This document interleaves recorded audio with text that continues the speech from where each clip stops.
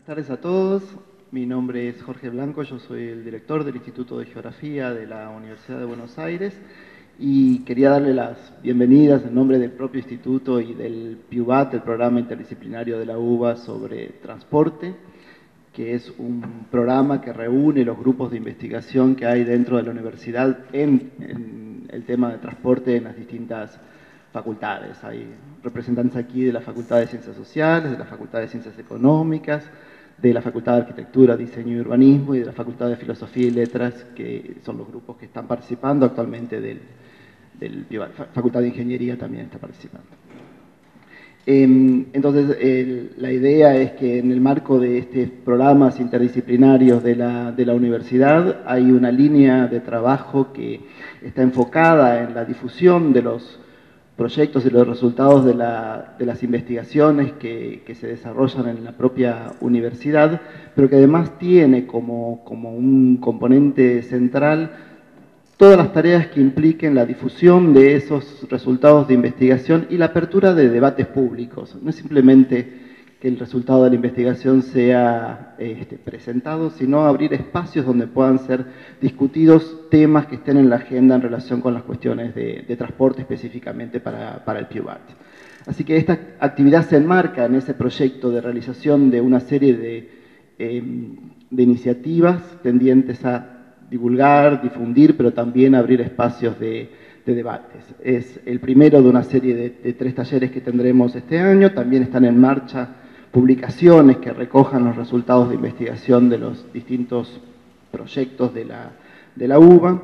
Y en particular en el caso de los, de los talleres, luego Andrea Gutiérrez va a explicar un poco la mecánica con la que vamos a trabajar, eh, el objetivo es abrir un espacio de, de, discusión, de intercambio, de debate, donde estén presentes distintas posiciones y distintas perspectivas sobre el tema que convoca en este primer taller, que es la cuestión de los ferrocarriles de carga en el norte, en el norte del país. Como resultados de los, de los talleres esperamos contar con un registro de lo que son las presentaciones y de lo que van a ser los, los debates posteriores y también algunos documentos que puedan circular en distintos ámbitos, ¿no? entre organizaciones no gubernamentales, entre distintos eh, ámbitos académicos, pero también en los lugares donde se toman decisiones políticas que son fundamentales en materia de, transporte. Em, para cerrar estas palabras de bienvenida, solamente quería agradecer a varias de las personas que estuvieron, de las instituciones que estuvieron activamente participando para que esto pueda ser posible. En primer lugar, a los presentadores, que gentilmente accedieron a estar aquí con nosotros esta tarde para compartir sus, experiencias. Obviamente a todo el público presente, que es quien eh, le da sentido a la, actividad, solamente los expositores y nosotros no tendría demasiado sentido, pero también a la Dirección de Articulación eh, Institucional e Interdisciplinaria de la UBA, que facilitó en gran manera las gestiones en el manejo del PIUBAT, a la propia Facultad de Filosofía y Letras y a las autoridades del centro y los trabajadores del Centro Cultural Paco Urondo, que es el lugar donde estamos aquí reunidos, al programa Transporte y Territorio del Instituto de Geografía y al equipo de gestión del instituto que colaboraron en todas las tareas que hay por detrás de la organización de un encuentro de este tipo. Así que espero que sea una, una tarde fructífera para escuchar, para emitir también las opiniones y para discutir entre todos. Le paso la palabra a Andrea Gutiérrez, que va a explicar un poco cómo es la mecánica de trabajo para el día de hoy y va a hacer un breve encuadre de la actividad antes de escuchar a nuestros presentadores. Muchas gracias. Bueno, buenas tardes a todos. Eh, yo soy la coordinadora del programa Transporte y Territorio y esto viene a cuenta de que esta es la segunda edición de este formato de atelier participativo eh, es el formato que ahora les voy a comentar, que tiene tres momentos básicamente, eh, orientados a la búsqueda de consensos. Esta es la idea de un atelier o de un taller. Eh, hay muchos, muchos temas, sobre todo en el campo de transporte, que son emergentes de conflictos a lo largo del tiempo, a lo largo del tiempo, del tiempo, del tiempo, del tiempo. Eh, nosotros, los académicos, tenemos la particularidad de ir escuchando voces de distintos sectores, de los funcionarios, de los técnicos, de las organizaciones sociales, de los propios académicos. Entonces nos parece una buena idea en este ámbito hacer como un poco de puentes, ¿eh? bien transportólogos, ¿eh? tratando de juntar esas distintas voces y opiniones, pero obviamente para conocer las diferencias, pero por sobre todo para orientarnos en el espacio de un taller a tratar de ver qué puntos en común puede haber. Y eso luego ponerlo como un documento a disposición de todos. Por eso se va a tomar un registro audiovisual y por eso se va a publicar estos puntos de consenso. Eso es lo que hicimos en este primer atelier participativo que se dio el 12 de diciembre, de septiembre, perdón, del 2014 y que tomamos otro tema así bien eh, urticante como es el de la autopista ribereña y ahora bueno vamos con esta segunda edición del eh, ferrocarril del norte, las cargas en el norte. Los tres momentos son básicamente estos que ustedes ven acá. Una primera instancia de mesa donde hay distintas voces. Tenemos la suerte de tener a José Silva, que es miembro de APDEFA, el sindicato ferroviario, de tener a Silvia Puparelli, técnica ferroviaria de toda la vida, eh, funcionarios como Carmen Polo, subsecretaria de Transporte de Cargas, académicos de la trayectoria de Rascobán, de Müller, tener todas esas voces en esta instancia de mesa para luego darle un espacio al diálogo.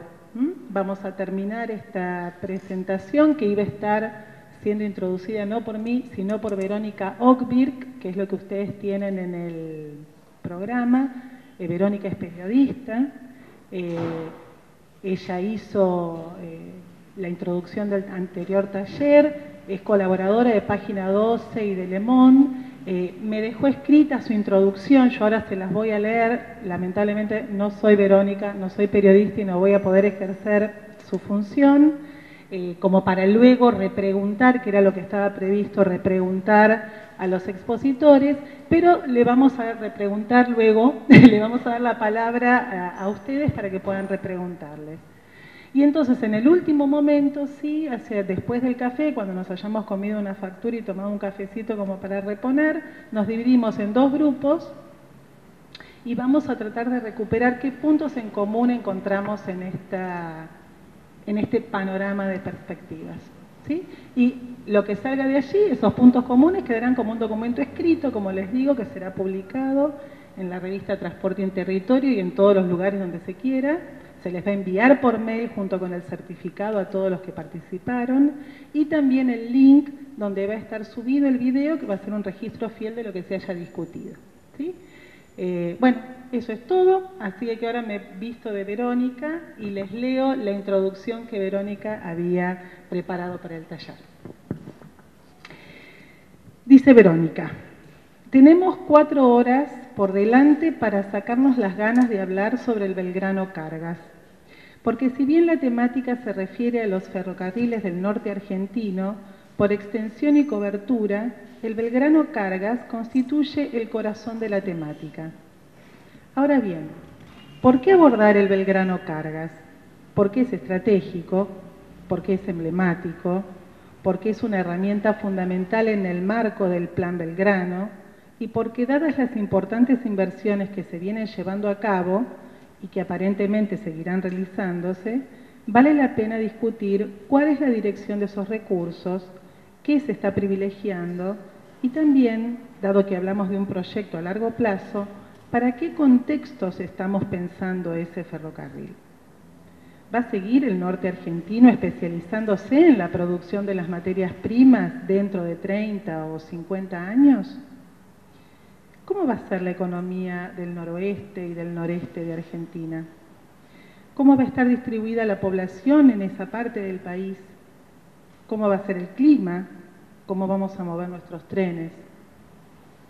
Van algunos datos duros actuales como para que tengamos en cuenta. El Belgrano Cargas tiene hoy casi 10.000 kilómetros de vías operativas. Administra las tres líneas ferroviarias cargueras más importantes del país.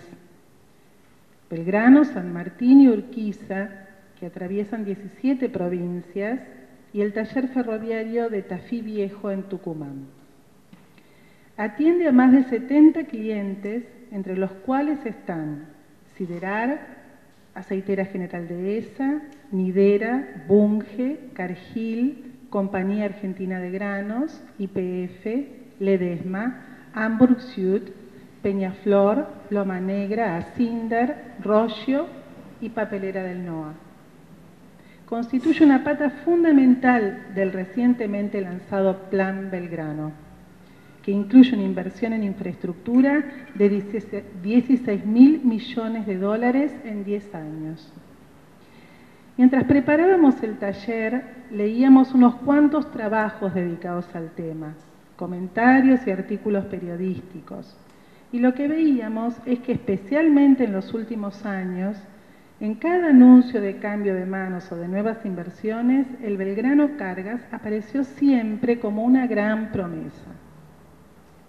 Promesa de reactivar sectores de la economía, de conectar el NOA y el NEA con los puertos, de optimizar la distribución modal de las cargas, de bajar costos logísticos, de hacer más competitivos los productos de una vasta zona del país.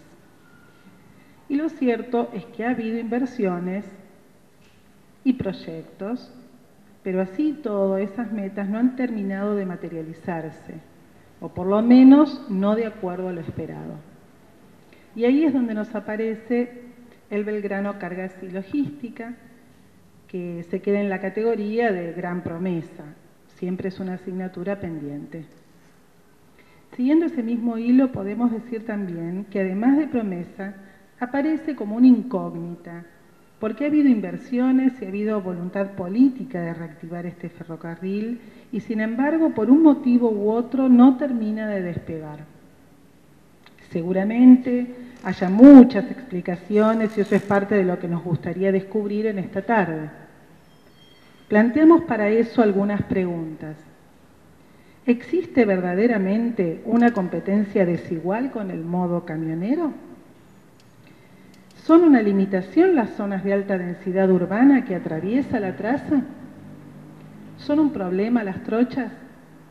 ¿Qué podemos decir de las conexiones internacionales? ¿Cuáles serían las ventajas comparativas de la reactivación del sistema ferroviario para las regiones del NOA y del NEA? ¿Existen intereses divergentes o todos realmente queremos que el Belgrano Cargas despegue? ¿Qué políticas sociales y territoriales pueden vincularse con los actuales proyectos en estas áreas? ¿Qué estrategias de organización de las redes son posibles para potenciar las capacidades del sistema ferroviario en el norte del país. ¿En qué medida se refuerza la estructura de circulación predominante y en qué aspectos podrían haber redireccionamientos y nuevas orientaciones?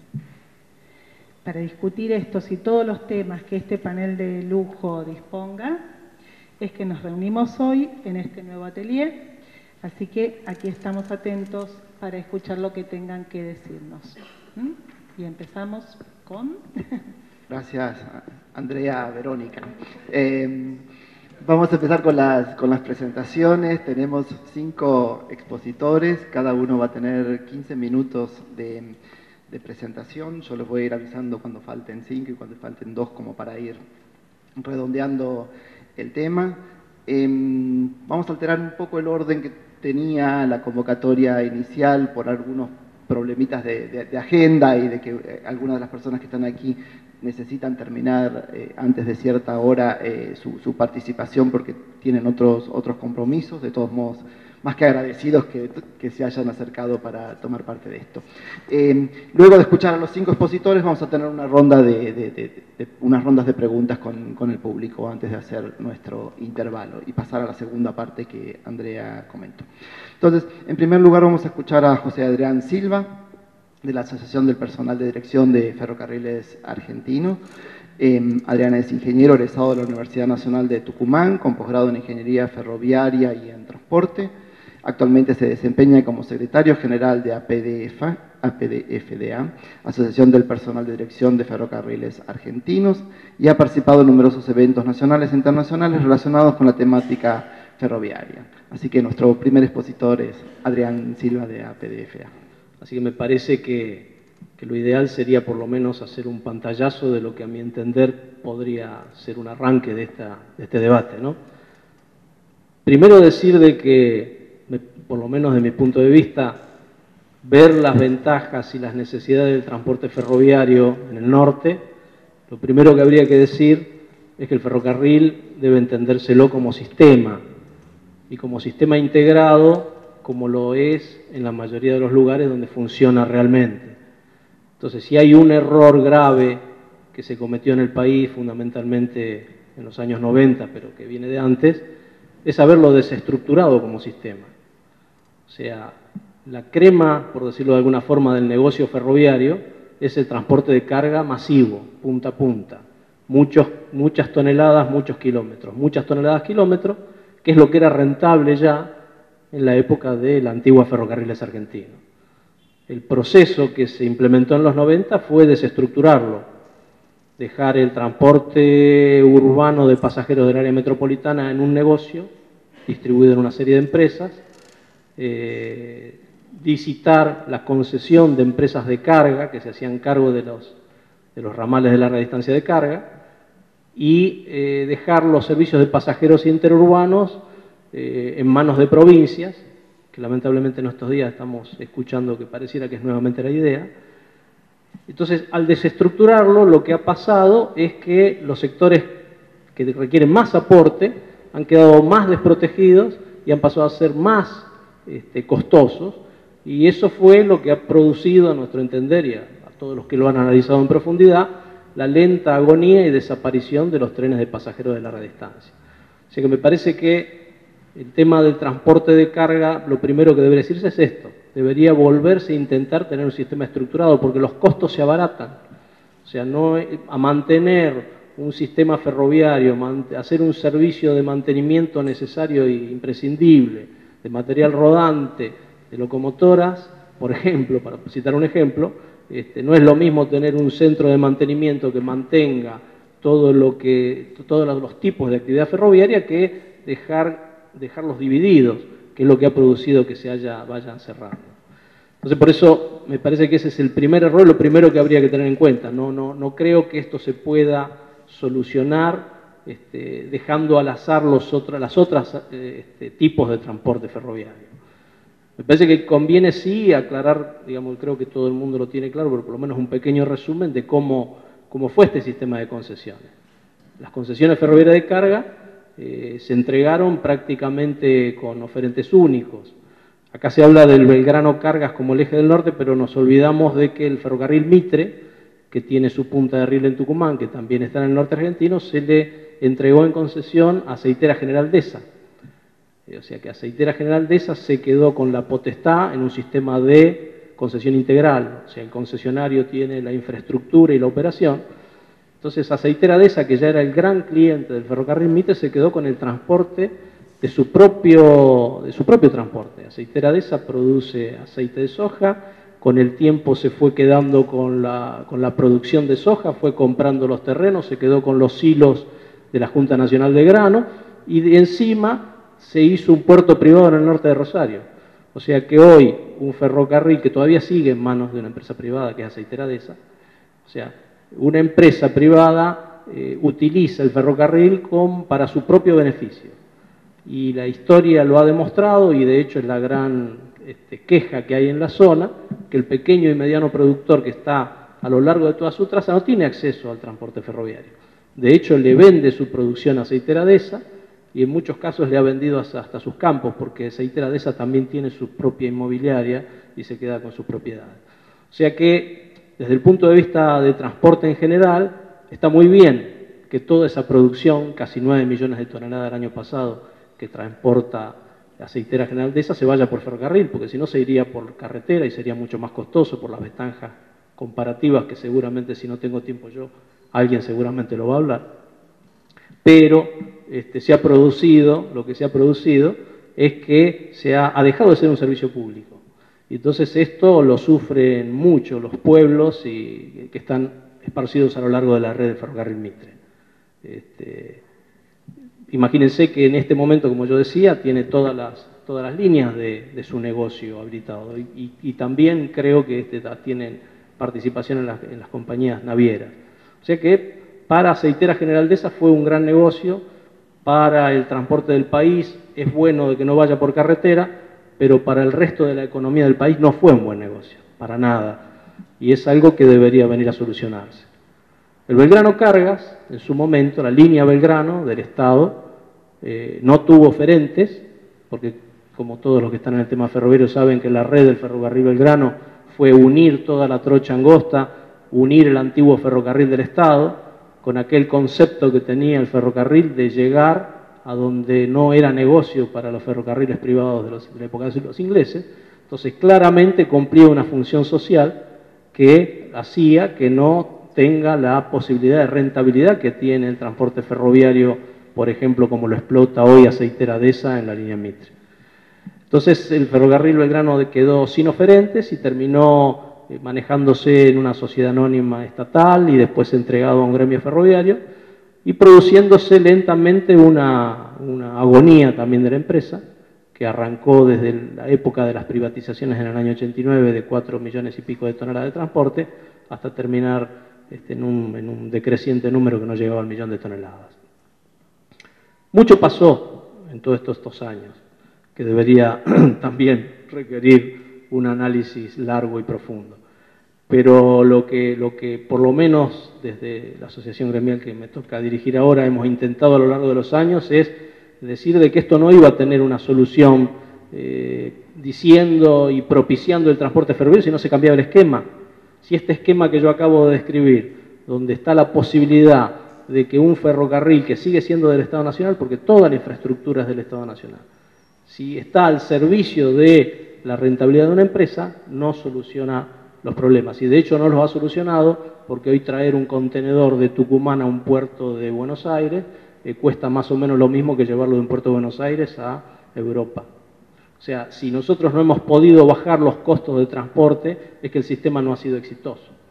Este, siguiendo con el ejemplo de Tucumán, Tucumán está surcado por la red del ferrocarril Belgrano, totalmente surcado. La principal actividad económica, ahora a lo mejor un poco compitiendo el limón, pero era la, el azúcar. Todos los ingenios azucareros de Tucumán tienen una red, de particular de ferrocarril entrando a la propio ingenio. Bueno, no sale un gramo de azúcar de Tucumán en ferrocarril, todo se va por camión. O sea, algo pasó para que esto sea así. Y lo que ha pasado es que no ha habido una política que defina prioridades y que dé la posibilidad de acceder este, al transporte ferroviario. De hecho, han pasado cosas más graves también, como por ejemplo que esta vía que, esta, que recorre la provincia de Tucumán, llegando a prácticamente todos los ingenios azucareros, se licitó la obra, se pagó y nunca se hizo. O sea que esto también hay que decirlo, porque si no, este, a veces nos, no nos enmarañamos de discursos técnicos y la realidad hay que verla fría y dura tal cual es. Este, este, transporte no se hace porque hoy no tiene la posibilidad de hacerlo. Entonces, una de las cuestiones que nosotros venimos planteando hace mucho tiempo es que debe haber un plan, un plan y una planificación profunda de la actividad. Y si no hay un plan es muy difícil que esto salga bien. Y si el plan no prevé que hasta que se elabore un plan se impida que las trazas ferroviarias, hablo de trazas porque en muchos lugares ya están las trazas, pero las vías no están, si las trazas ferroviarias no son protegidas para que se dejen de invadir, para que se dejen de ceder, este, en algún momento cuando surja, si es que surge la decisión política de utilizarlo, no va a ser posible hacerlo porque en muchos lugares hay barrios ya arriba de las trazas ferroviarias, hay edificaciones, hay municipalidades, hay proyectos inmobiliarios. Entonces nosotros lo hemos venido proponiendo, nuestro sindicato lo ha venido proponiendo a lo largo de muchos años, a los distintos gobiernos de que lo primero que habría que hacer es trazar un plan general y ese plan general, hasta que no se defina, impedir que se sigan perdiendo territorios ferroviarios, que son los que van a coartar la posibilidad de desarrollar. No todo ha sido malo en los tiempos que pasaron, ha habido decisiones fundamentalmente sobre el final de la gestión del gobierno anterior de estatizar lo que fueron las líneas Mitre, las líneas, perdón, San Martín y Urquiza, que estaban en manos de una empresa brasilera, América Latina Logística, que había hecho un desastre con la infraestructura, este, y pasaron a integrar, como se decía acá, Belgrano Cargas y Logística, que es una empresa del Estado, que se quedó con el ferrocarril Belgrano y se le agregó la línea San Martín y la línea Urquiza. Este, nosotros estuvimos totalmente de acuerdo, nos parece que es importante. Ahora, eh, con tomar la decisión política del pase el Estado no se soluciona el problema. Evidentemente tiene que estar acompañado por una decisión política de avanzar seriamente en reactivar el transporte. Y lamentablemente no ha pasado. Más allá del desastre que dejó la concesión privada en estas dos líneas, San Martín y Urquiza, lo real es que al momento que se le quita la concesión a América Latina Logística, la línea San Martín transportaba 5 millones de toneladas. Y el año pasado, ya con dos años y pico de gestión estatal, sumando el San Martín, el Urquiza y el Belgrano, se transportaron 2 millones y medio de toneladas. Entonces, ahí, ahí nos agarra a quienes defendemos la participación del Estado esta angustia, ¿no? que yo se lo he tenido la posibilidad de decírselo directamente al ministro Randazzo esto no es bueno, porque los vientos privatizadores van a volver, porque, porque no falta mucho y ya, ya está pasando de que se diga el Estado es un mal administrador, por eso está pasando y tiene que venir el salvador este, empresario privado y nosotros todos sabemos lo que estamos en actividad, que las inversiones que requiere una actividad como esta, como la portuaria también, es imposible que la haga un, un privado, la debe hacer el Estado, la debe hacer el Estado. Así que yo creo que lo, para ir cerrando porque sé que queda poco tiempo, yo creo que, lo primero que se debe tener en cuenta es los planes de inversión de los que se están hablando, primero hay que preguntar si la inversión se va a hacer, ¿quién es el que va a explotar eso? Porque si hoy se va a hacer una inversión, por ejemplo, en la línea Mitre, que la sigue teniendo aceitera de esa, la pregunta es ¿por qué el Estado va a hacer una inversión ahí para que aceitera de esa siga presentando su negocio? ¿Por qué no aplicar la ley que se, votó sobre el, que se votó y aprobó sobre el final de la gestión anterior, la 27132, que crea la empresa Ferrocarriles Argentinos, donde claramente dice que la infraestructura ferroviaria debe pasar a manos del Estado?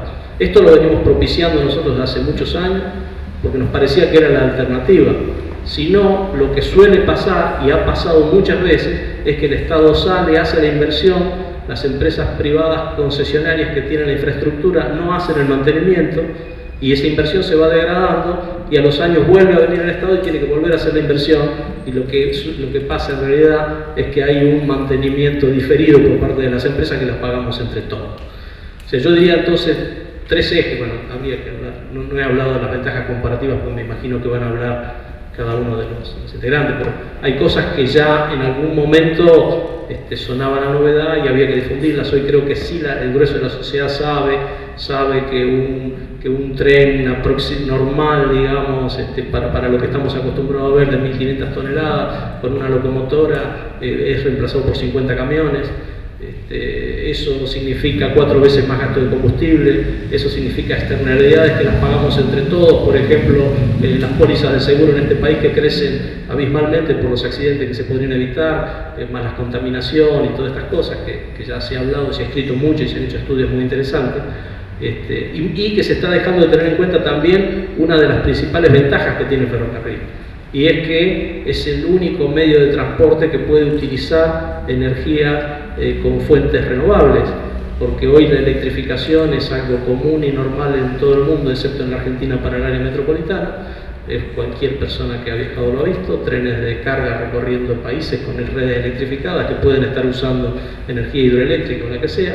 Digamos, estas ventajas que tiene hoy el ferrocarril, que no se están aprovechando, además del ocultamiento que hay permanente, que creo que son por los factores de poder que están en juego, que ocultan los costos que tienen los otros medios de transporte. Entonces la pregunta que por lo menos los que defendemos el sistema ferroviario hace muchos años hacemos públicamente es, ¿qué pasaría si se expusieran claramente los costos del autotransporte? ¿Cuánto aporta el Estado para que un camión pueda circular por una ruta destruyendo rutas, que la destrucción del pavimento está relacionada con la cuarta potencia del peso por eje y que en Argentina tenemos mayor peso por eje admitido que en muchos países donde se hacen rutas mucho más fuertes. eso lo pagamos entre todos. ¿Qué pasaría si el transporte carretero tuviera que pagar los sistemas de señalamiento que tienen que cruzar a través de través de, pasar, de cruzar las ciudades? Y un tema fundamental, que creo que esto no lo dije me olvidé, que tampoco se debe poder, se debería tratar el tema ferroviario si no se lo entiende como un sistema totalmente integrado a los puertos, porque se está hablando y se sigue hablando de planes de reactivación del sistema ferroviario y sin embargo los accesos, por ejemplo, al puerto de Buenos Aires, que es el principal puerto de la, de la Argentina, cada vez lo tiene más restringido, de hecho por el norte ya prácticamente está inaccesible. Entonces, El ferrocarril debe tomarse como, como un sistema, debe tomarse como un sistema integrado al puerto, debe tomarse como un sistema que también prevea los otros tipos de transporte ferroviario de pasajeros, porque el transporte de ferroviario de pasajeros es el que le asegura mantener la calidad a la infraestructura, que es lo que se hacía en la época de ferrocarriles argentinos. Eh, bueno, creo que ya estamos, no, quiero invadir cualquier cosa después en alguna consulta. Gracias. Ahora vamos a escuchar a Alberto Müller del PIUBAT. Alberto es licenciado en Economía de la UBA, magíster y doctor en Economía de la Universidad de San Pablo en Brasil, profesor titular regular de la Facultad de Ciencias Económicas de la Universidad de Buenos Aires, director del Centro de Estudios de la Situación y Perspectiva de la Argentina, CESPA, y como áreas de actividad trabaja sobre organización industrial, evaluación de proyectos, economía de los servicios públicos y economía argentina. Así que tenemos 15 minutos de presentación. Gracias por tenerme la paciencia de escucharme. Voy a cumplir rigurosamente porque parece que el tiempo viene en serio, entonces este, voy a, voy a cumplir rigurosamente. Bueno, mi presentación no es un PowerPoint así de eso que va siguiendo paso a paso, son algunas, eh, eh, la idea es dar una breve retrospectiva que creo que se complementa con la presentación que hizo mi antecesor respecto a la evolución del tráfico de las redes en el norte. Yo estoy incluyendo tanto Belgrano como Pisa para tener una, visión más amplia. Eh, y después de esto viene un pequeño ejercicio de perspectiva acerca de cuáles serían las potencialidades de tráfico y qué se podría llegar a ganar con esto, en función de un estudio que hemos terminado en la facultad hace no.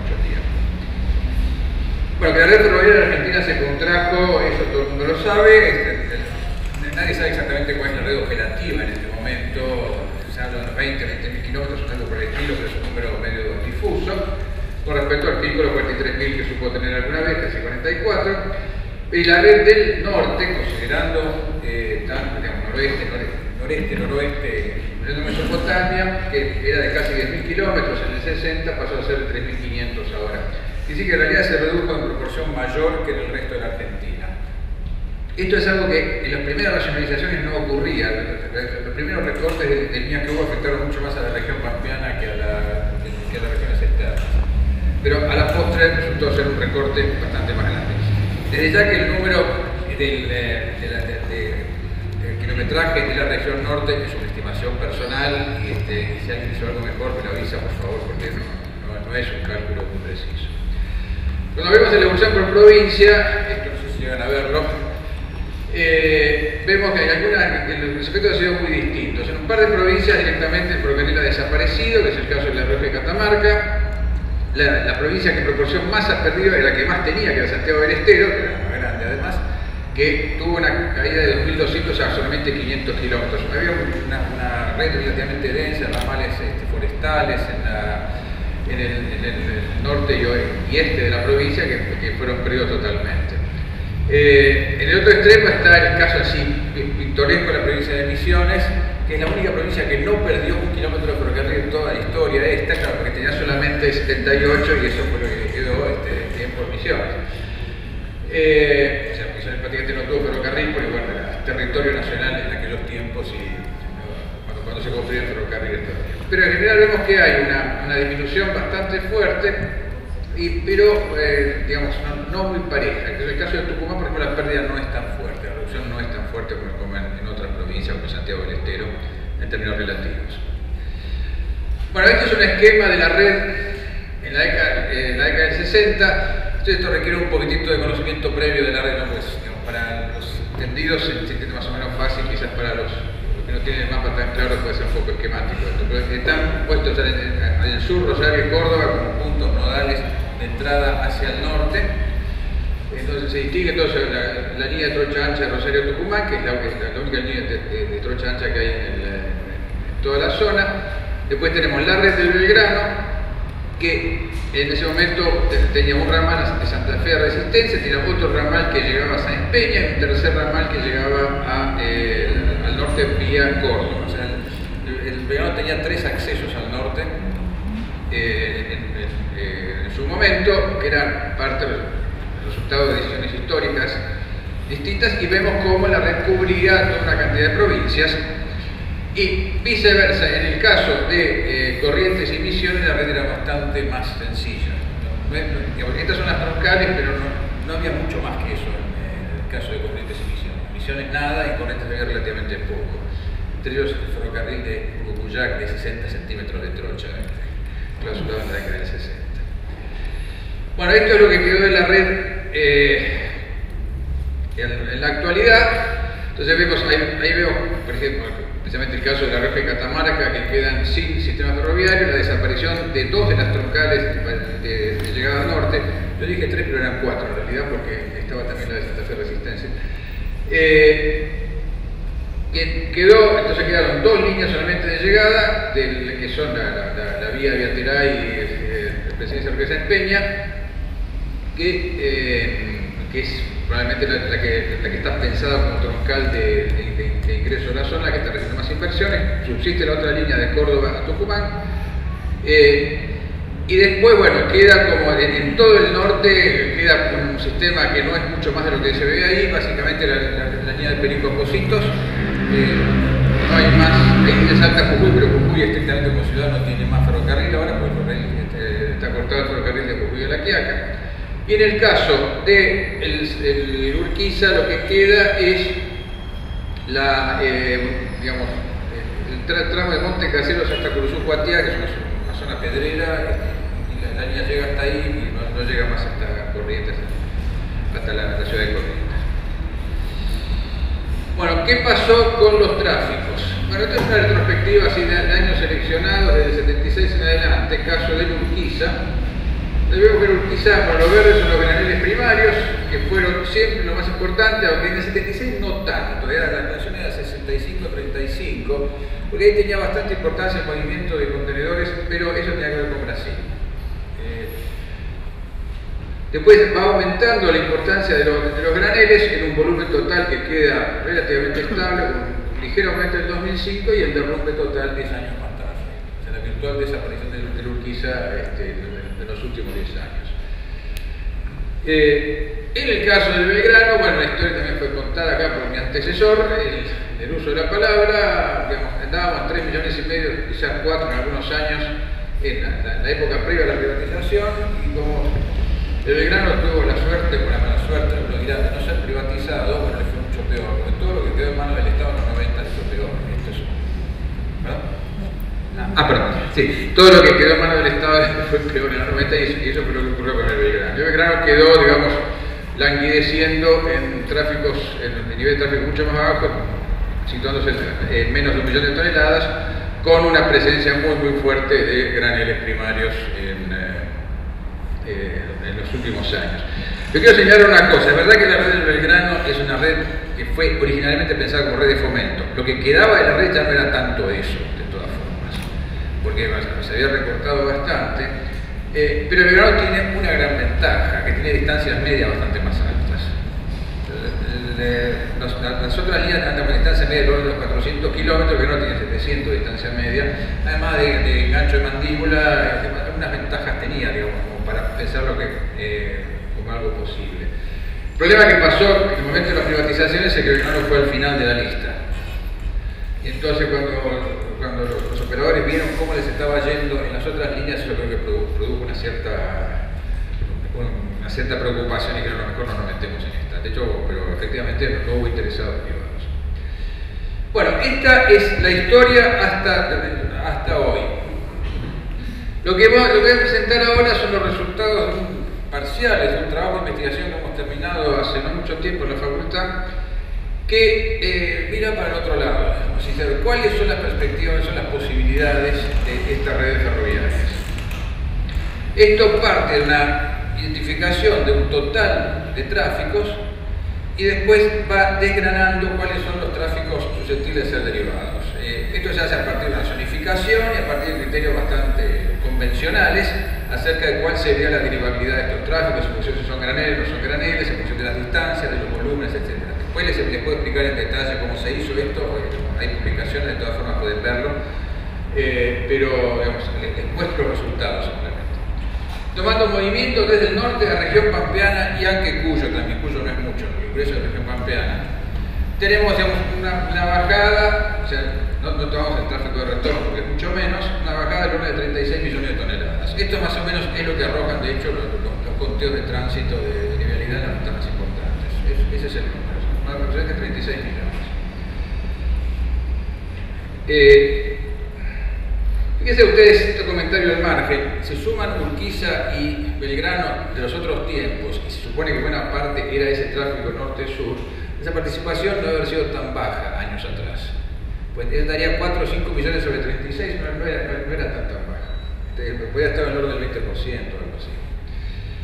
Bien, ¿qué pasa con estos 36 millones? Bueno, tenemos, en primer lugar, tenemos pares donde existe cobertura del sistema ferroviario tomamos simplemente las, zonas, este, digamos lo que es Ledesma, Rosario, está cubierto por sistema ferroviario. Tenemos 22 millones de toneladas ahí. A esto le agregamos los pares que habrían tenido cobertura de no haberse clausurado ramales ferroviarios. Esto es bastante más impresionista porque no, va tan en el detalle, pero hay ciertas zonas que tuvieron. Goya, por ejemplo, tuvo, tuvo acceso ferroviario, ahora no lo tiene más. Quimirí tuvo acceso ferroviario, ahora no lo tiene más. Esto indica, de esos, 36 millones, alrededor de 7 millones, 6.9 millones de toneladas corresponden a esos pares. Y por último, tenemos 7 millones de pares que nunca tuvieron cobertura ferroviaria o que tienen una cobertura así muy estrafalaria, de esa que es imposible, de esa que, es, digamos, no, el ferrocarril no puede, no puede competir, digamos, movimiento de, de corrientes en Tucumán, por ejemplo, se podrían hacer entre bueno, la derivación estimada para lo actual, lo, que tiene cobertura ferroviaria actual es de orden de los 15 millones de toneladas, la derivación estimada de los clausurados, y eso está puesto en cursiva porque 4 millones, pero esto es muy hipotético, da entonces un potencial de tráfico para las dos líneas del orden de 15 a 20 millones de toneladas.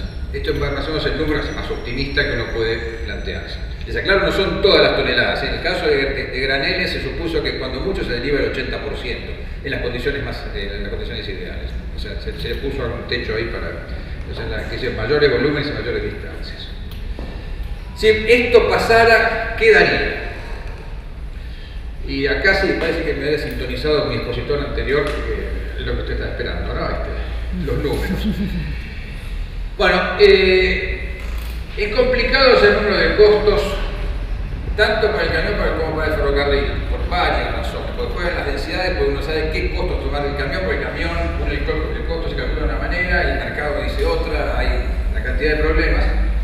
Pero, digamos, el número al que más o menos llegué como para quedarme tranquilo es el que está puesto ahí. 6, 6 centavos y pico tener el kilómetro, infraestructura y movilidad para el automotor, 4 centavos para ferrocarril relativamente denso. O sea, no es para cualquier densidad, obviamente, el ferrocarril con densidad importante. Eh, tenemos 15,5 millones de toneladas. En estos movimientos que hemos considerado, la distancia media está en el orden de los 1.000 kilómetros, un poquito menos de 1.000 kilómetros. O sea que es, esto es interesante. Da 15.000 millones de toneladas kilómetro. El ahorro de costos, a diferencia 6,7 menos, menos 4 eh, multiplicado por 16 millones da 400 millones de dólares de ahorro en términos anuales. Esto, para un valor transportado que estimo, pues estos son mayormente graneles primarios, eh, hay muy poco de productos industrializados y todo lo demás. Para, para graneles primarios, estimando un coste de 250 dólares la tonelada, que puede ser razonable, de todas maneras es una aproximación, esto quiere decir que lo transportado vale 3.900 millones de toneladas, ergo es el ahorro es más o menos el 10% del valor de lo producido. ¿Y esto está bueno o está malo? ¿Es mucho o es poco? Bueno, eh, no es, no es este, un número indiferente, pero no es tampoco un número revolucionario. De hecho, si este número hubiera sido mucho más grande, los operadores privados se habrían dado cuenta y habría habido interesado para el grano, habría pasado otra cosa. La ventaja está muy en el margen, es una ventaja de todas formas, eh, esto, digamos, eh, tiene algo que ver con la viabilidad de las producciones primarias en el norte. Pero, ojo, el problema que tiene, sobre todo el noroeste, de conectividad, no lo va a resolver el ferrocarril. El problema de conectividad que tiene el noroeste se llama su ubicación. Y, eh, y ahí Incluso ahí me permito disentir con mi expositor anterior, para mí no es escandaloso que salga lo mismo llevar por tierra hasta el puerto algo y llevarlo por mar. Es así. Una vez que uno pone algo arriba del barco, el barco cuesta la décima parte que el, el, camión o el ferrocarril. Así que cuando hago mil kilómetros por tierra hago 10.000 en barco. Entonces no es, no es tan irrazonable que pase eso. El barco es barato, tiene esa ventaja. Bueno, eso es todo. Eh, estas son las fuentes. Tengo que pasar la vía institucional, pues una facultad me matan. Este, entonces, este, acá tienen los tres trabajos, blog del CESPA abajo y nada más. Muy bien. Es nuestra tercera presentadora en la tarde de hoy. Silvia es arquitecta, graduada en la Universidad Nacional de Tucumán, especialista en planificación del transporte y sistemas territoriales. Ha participado y coordinado equipos para la gestión y formulación integrada de proyectos urbanos y de transportes vinculados con redes ferroviarias, de cargas y pasajeros, movilidad, modelaje de sistemas urbanos y de transporte y estudios de mercado de suelo. Actualmente también trabaja en la ADIF, Administración de Infraestructura Ferroviaria. Que se interese en el tema del ferrocarril en el norte, porque realmente es un tema crucial en estos momentos. Las economías regionales lo están aclamando. Y así estoy muy agradecida a la gente que me ha invitado para poder debatir con ustedes el problema. Para mí, hablar del ferrocarril en el norte, a ver, aquí es, aquí, aquí es. Hablar del ferrocarril en el norte, por supuesto, como decía Verónica, es hablar del, del, del ferrocarril General Belgrano.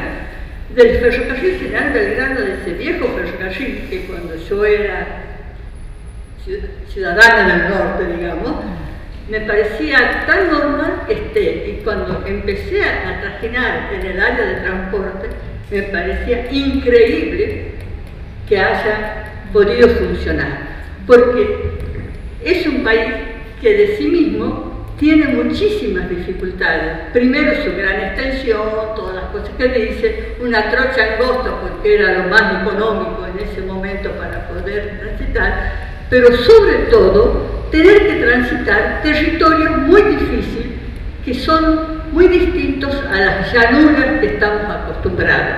Tenía que subir hasta el de Socopa, sube actualmente hasta casi 5.000, tenía que pasar por montes, tenía que pasar por llanuras, tenía que pasar por desiertos, tenía que pasar por muchas partes que no es no es el tener una carga granel que puedo traer directamente, sino que tiene que tener distintas este, tecnologías, distintas experticias para poder hacer el servicio. Y yo quiero destacar una cosa. Miren cómo la traza amarilla es como un eje, un eje que si después uno lo sigue, lo, seguí ahora en el Google, sigo por Bolivia en el área verde, he ido buscando eso y cómo las llamas era el ferrocarril minero, ahora abandonado, por supuesto, porque no da ni por casualidad, capaz que ahora que los minerales vuelven a tener valor, empiecen a pensarlo de nuevo, va uniéndose a esa llama, va uniéndose la de Antofagasta, son como llamas que se desprenden de ese principal y de esa manera van cargando al principal y de alguna manera que también fue por las áreas productivas que en ese momento estaban en pleno desarrollo, que han nutrido y que lo han mantenido por un tiempo. La geografía del norte, de la, la geografía de la producción del norte cargado, ya no teníamos, ya no se tiene todo el bosque de quebrachos que antes explicaba por supuesto, que, que, que haya llamales en Santiago, que haya llamales en otra parte, que se, desde el norte se introduzca con el ramal 25, con el ramal C12 y el C3 para poder sacar esa producción. Ahora ha cambiado significativamente y entonces la problemática de un Belgrano caída de alguna manera se explica, entre otras razones, por supuesto, pero de todas maneras es algo esperable. Yo creo que este, me voy ahora a esta diapositiva que estamos en el 2009, luego de que sale una época en la cual este, se piensa en la reactivación de los ferrocarriles, se piensa en el marco del Mercosur y de una filosofía de integración desde el norte, la importancia de poner esa penetración, la importancia de utilizar esa traza que nos penetraba y que nos unía, y en ese sentido es a través de la DIF que ya está funcionando en ese momento y del Estado Nacional que la CAF da una, este, digamos, se interesan para poder este, trabajar cómo hacer para la red, cómo funciona esa red, cuál esa red tiene realmente su importancia a los objetos del desarrollo y del objeto también de la integración. Y bueno, dividen a todo el ferrocarril para reactivarlo, pero lo importante de aquí es que los tiempos han cambiado. Y entonces, ¿cuál es lo importante realmente? Es que hay un ramal que está en el área de expansión de toda el área sojera, que es un boom así, de las exportaciones, y que a su vez sí nos puede unir hacia el norte, y también que es el tramo del ferrocarril Belgrano que tiene una, digamos, no tiene tantos problemas de pendiente, va por una Cuasi llanura tiene problemas de inundaciones, pero lo cual sería fácilmente o con dentro de todos los otros con una prioridad. Y se define una prioridad absoluta, lo que es definir como primera área de, restauración, este, la, que se llama la T porque en esta área nosotros tenemos toda el área de, expansión, eso es un gráfico que es un poco mentiroso porque está graficada el área de expansión en función de los departamentos que se tiene este, toda la estadística de la, demanda. Esto es el estudio de demanda que se hizo para poder justamente ver la rentabilidad del proyecto de restauración desde Pichinal, Joaquín B. González, había Teray, Santa Fe, Rosario, y hasta Rosario directamente. Pero entonces,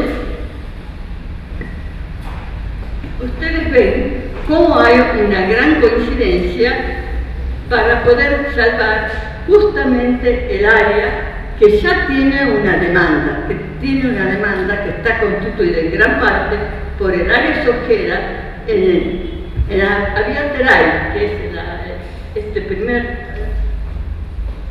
no sé cómo decir, que es la, que cuando se inicia las flechas más grandes, que, son los tráficos que generan,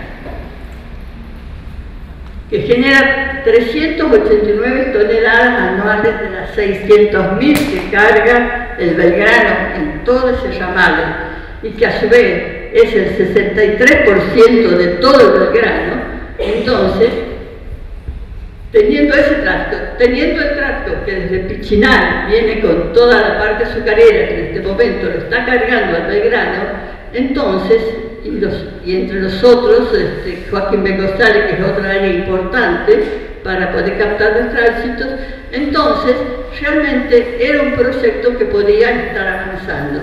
De esa manera yo les voy a poner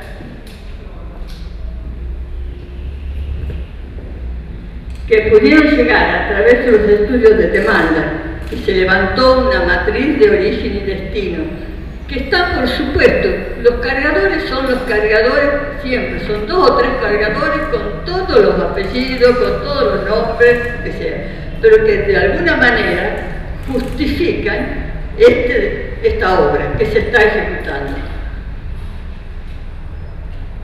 La carga estimada dentro del sistema, se lo modeló con el RANCAR, fue de 600, es de 600.000 toneladas, que más o menos coinciden con las cifras de, que, están, que se levantan aquí. Después, pero la carga estimada para el año 20 a partir del año de inicio, de, ya de cinco años después que se inicia el proyecto, llega a 4.750.000 toneladas. ¿Por qué? Porque es un área que la producción está creciendo 161% eh, en comparación con el área nacional, con la misma producción nacional, que solo lo hace un 74%. Y aquí voy a volver a, se me vuelve a cruzar la palabra producción, porque en última instancia el problema no es que esté el ferrocarril que llega o no en condición, el problema está que existen áreas productivas que están agalladas a un territorio, a un sistema de ciudades, a un sistema de poblamiento, que van cambiando, porque aquí lo que pasa es que con las nuevas tecnologías y podemos discutir si es mejor el quebracho los ojos, todas las cosas, pero hay una producción que tiene salida por el puerto y está muy bien. Vamos a ir volando entonces. Yo voy a cambiar entonces ahora las obras que se están haciendo, ya que tengo cinco minutos, esta es la red, la a partir del 2014 han empezado a hacerse esas obras, pero es realmente en este momento que hay una gran, ya en condiciones para poder este, avanzar. Porque ya se, ya se ha acordado financiamiento y se tiene el proyecto. Estas son las obras terminadas, estos son que estaban terminadas. En el año 11, estos son los que están antes del 15, esta Rosa es, una obra que está en licitación pero que no se la puede cerrar y después en celeste están las obras que se acaban de licitar, con lo cual la obra del extramal está prácticamente tiene un programa de obra, tiene un financiamiento. El financiamiento, y falta otra más que son la llegada desde el T hasta el puerto de Barranquera y la llegada hasta, la, hasta Orán Pichinal. Hay dos tramos más que son los que cubren la llegada de Yacuiba y que va a cubrir parte del Yamal norte y llegando hasta Tucumán. Y al sur sería, está en discusión si realmente se hace ese tramo del ramal o el tramo del ramal sur, que es parte del San Martín, pero que acerca a Córdoba con la parte de... Pero entonces, la, esto es que hay un ramal, que hay una supuestamente hay un posible futuro, que es muy posible el incremento de la producción, que ha traído importantes ventajas desde el punto de vista de la captación, se calcula, que un 8% va a ser captado por el ferrocarril, que lo que está ahora se ve en camión, y que por lo tanto este, es beneficioso, tiene un gran beneficio social desde el punto de los accidentes, de la puerto del mercado, pero tiene dos puntos que son sumamente críticos, que son la parte portuaria directamente, toda la parte, toda esta, demanda que estábamos viendo termina en el puerto de Rosario y, después en Buenos Aires, que todos sabemos los problemas de cuello de botella, inclusive en ese momento ya eran señalados como los puntos críticos para poder solucionar la, toda, toda la cadena. Yo aquí voy a hacer, la inversión de esto es 2.400 miles de, 2.000 millones de, dólares, a ver, miles de millones, así es. Sí. Está financiada por los, chinos, de una manera familiar hablando, directamente, y tiene un tiempo de ejecución que, que además de la traza va a poder, va a incorporar la parte tractora, va a incorporar equipamientos y va a incorporar, bueno. Pero lo que quiero decir, que además de toda la traza, toda que, que está pensando y se ejecuta, se necesita una cierta cantidad para llegar a ser ese ferrocarril moderno que se está poniendo con mayores este, cargas por eje, que se está poniendo con mejor vía, para poder este, solucionar y poder captar esa demanda desde el camión, una serie de otras modificaciones, como son talleres, como son elementos de curvas de vía, acceso a las fábricas, acceso a los portuarios y los puntos de transferencia y los, puntos, los centros intermodales de transporte, concentración y logístico, que requieren realmente también ser previstos, requieren una base territorial, requieren una base que todo ese acervo que tiene de, propiedades, de terrenos que tiene el que solamente tiene un 91% de sus terrenos registrados, impuestos, así con, digitalizados y, y controlados, pueda quedar, pueda adelantarse y quedar reservado, previsto. Entonces, en un proyecto que ya tiene una forma, que se está materializando, poder avanzar en aquellos aspectos que lo aseguren que pueden llegar a un nivel de servicio es fundamental. Pero no solamente eso, también es fundamental para poder expandir todo lo que sea, los beneficios de esta obra que tiene no solamente la misión de sacar todo, toda esa este, producción extractiva que nos están llegando, que podríamos decir estamos los mismos que el siglo pasado, sino para poder expandirse.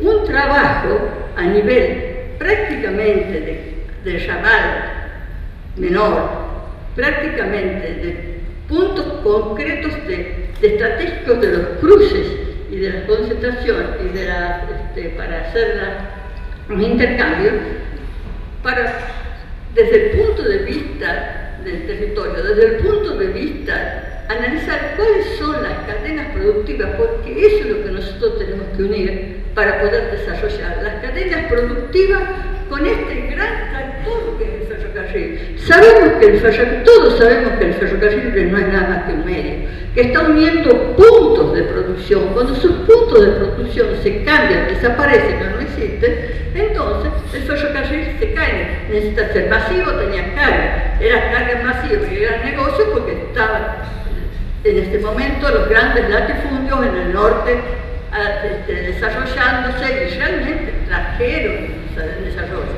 Nadie puede decir que todo el eje de Tucumán, Salta, no se ha desarrollado en tiempo, no se ha desarrollado.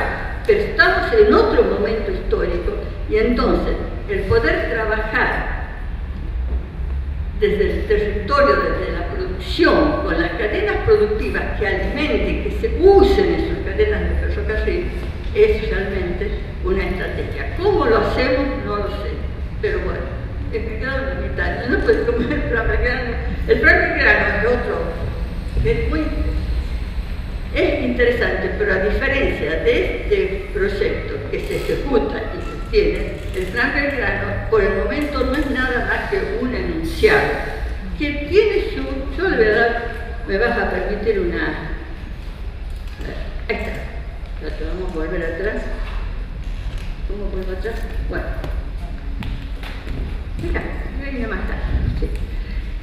y tiene un enunciado que es justamente aprovechando todo el contexto de la integración de, la cadena del eje de Capricornio, de la hidrovía y de la T cerealera, plantea que el eje que, tiene, que está más al norte, el, el eje tradicional, tiene que ser fortificado con un tronco ferroviario, es decir, haciendo este, que el vitre que realmente tiene la trocha ancha y que tiene una capacidad y tiene dentro de todo, tiene experticia para poder manejar la carga, porque uno en este momento es malo bien, que funciona, es porque tiene de esa, porque tiene todo eso así directamente, es decir, porque tiene, maneja los hitos de la, producción, esa es la cosa, entonces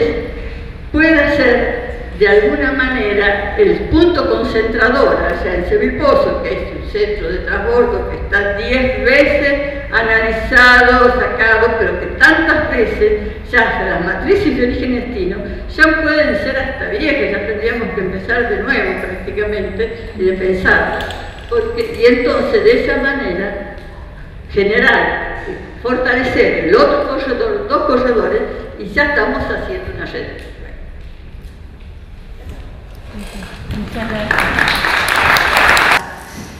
Esto, ha sido todo casualidad, no crean que nadie lo preparó, porque en realidad lo que yo voy a decir contradice en cierto sentido un poquitito, pero engancha perfectamente con, lo, con la exposición anterior. Este, nadie, es toda una secuencia que se viene dando este, muy interesante. Bueno, yo me voy a referir a un hecho particular. Quiero compartir con ustedes un, hecho de actualidad eh, a raíz de una medida de la gestión de gobierno que ha suscitado una gran polémica y problema, este, digamos, por el momento es polémica, crítica, muy este, ¿cómo lo puedo decir? Este, muy enfática, por no decir virulenta, que no tiene tanta trascendencia por ser un tema más local, pero sí en los medios locales chaqueños tiene este, una enorme, enorme repercusión. Estos días está este, en pleno, en pleno auge. Quiero contar los hechos que son los siguientes. Eh,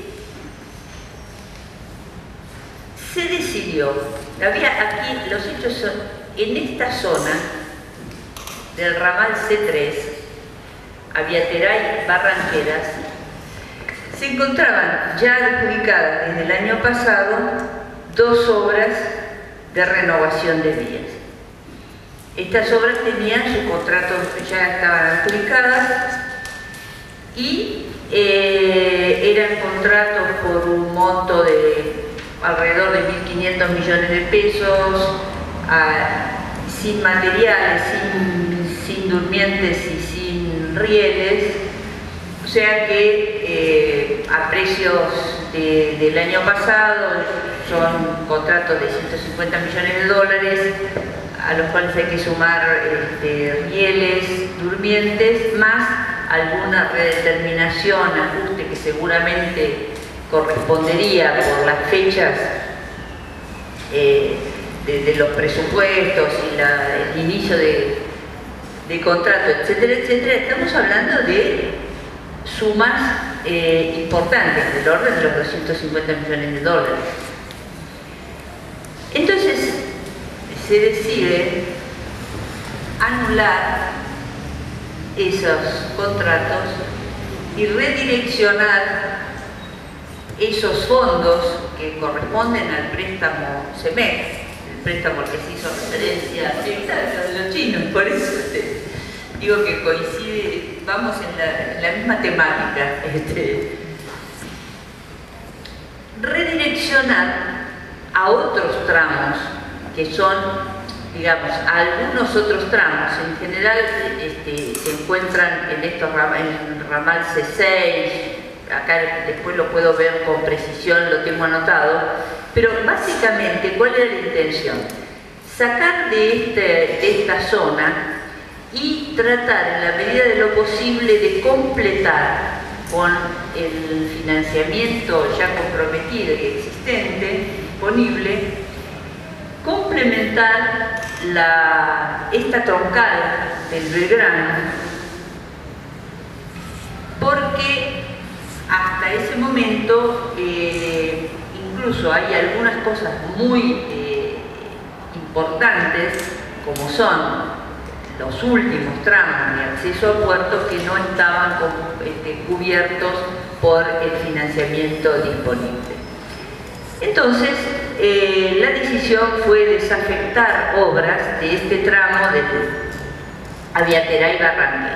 Bueno, como todos los que están en esta temática se podrán imaginar, esto tiene una, digamos, una fuerza de ir contra un mito o contra un símbolo o contra una realidad, como cada cual lo querrá, o contra una potencialidad.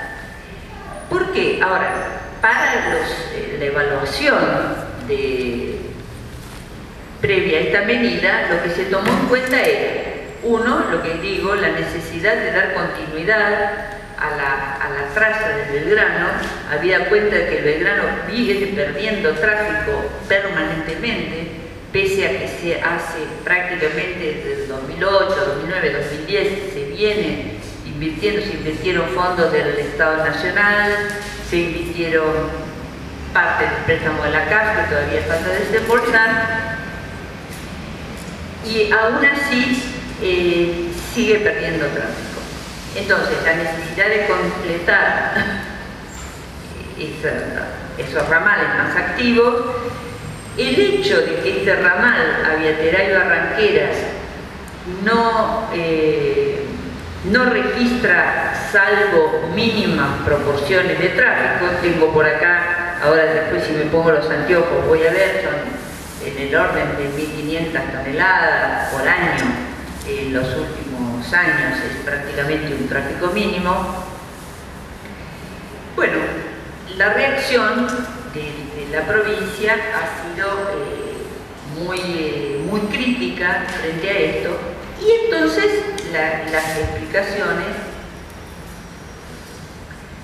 digamos, ha sido muy crítica porque se estaría coartando las posibilidades de un tráfico multimodal este, bajada de combinación del ferrocarril, puerto, barcazas, o sea, una vía fluvial que también tenemos poco explotada, de ahora, en los hechos,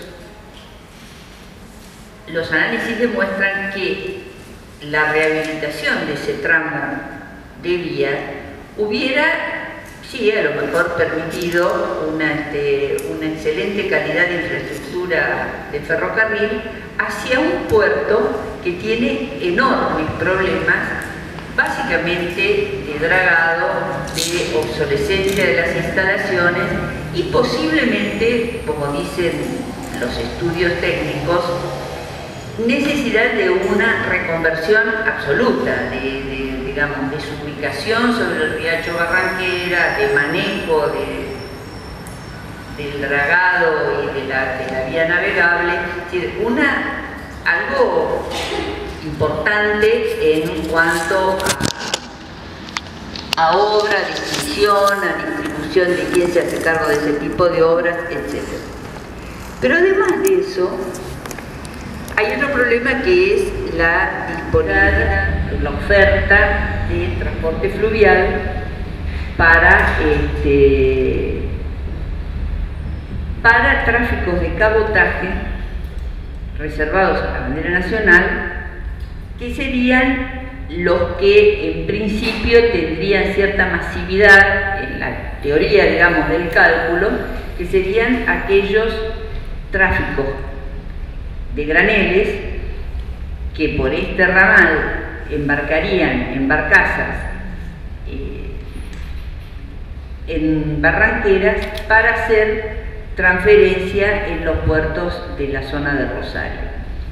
Bueno, ese es otro problema eh, ligado a esta, a esta cadena posible o muy mencionada, es este de la disponibilidad del transporte fluvial, sin entrar en, detalles, pero más o menos todos conocemos que hay las barcazas que circulan por, este, por el río Paraná son básicamente en un 90% están bajo bandera paraguaya y, y, este, y bandera boliviana, que la, inclusive que en algunos casos son de capitales argentinos, pero el armamento, el armamento nacional prefiere inscribirlas bajo bandera paraguaya porque yo no sé si será cierto esta diferencia, pero los cálculos de algunos identifican que el costo de las tripulaciones eh, en Paraguay son la tercera parte de eh, la tripulación argentina. Sea este tipo de,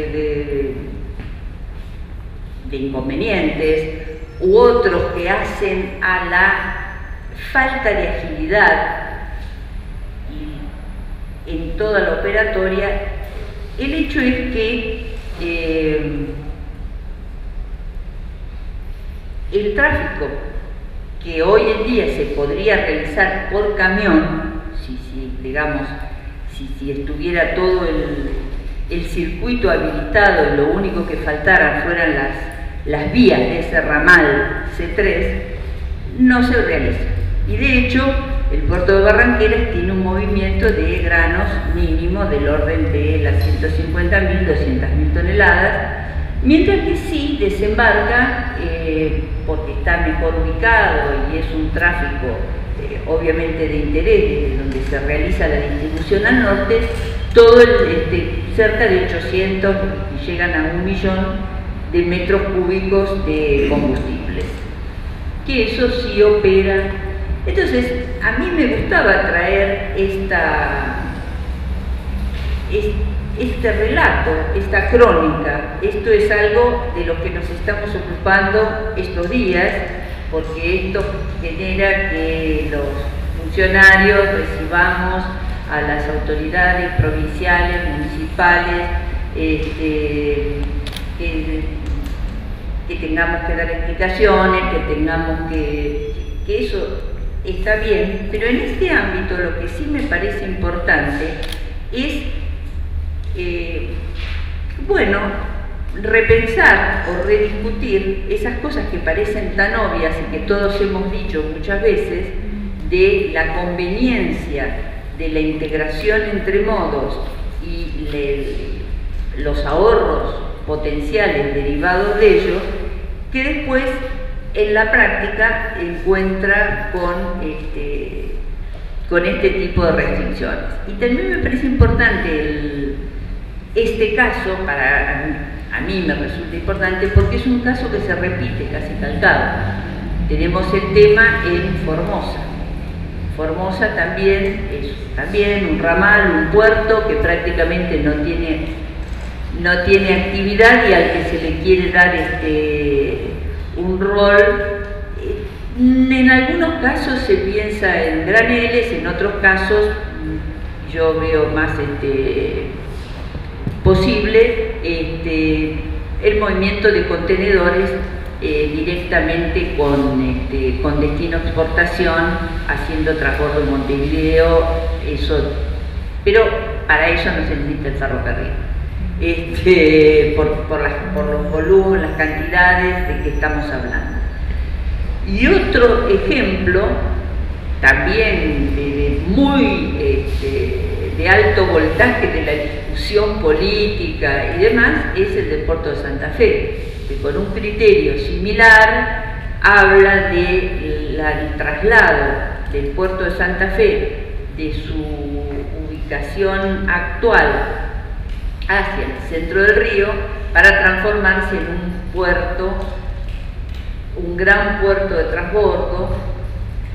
En ese caso todavía más difícil de explicar porque los puertos a donde llegan los buques de ultramar están a 100 kilómetros al sur. Bueno, simplemente quería este, comentarles eso, que, y lo único que quería decir es en relación a lo que dijo el señor que habló en primer término, es que bueno, sí, eh, la idea es seguir aplicando fondos a la inversión en infraestructura, que la ley está vigente, la ley del año pasado está vigente, que está en proceso de muy inicial de reglamentación.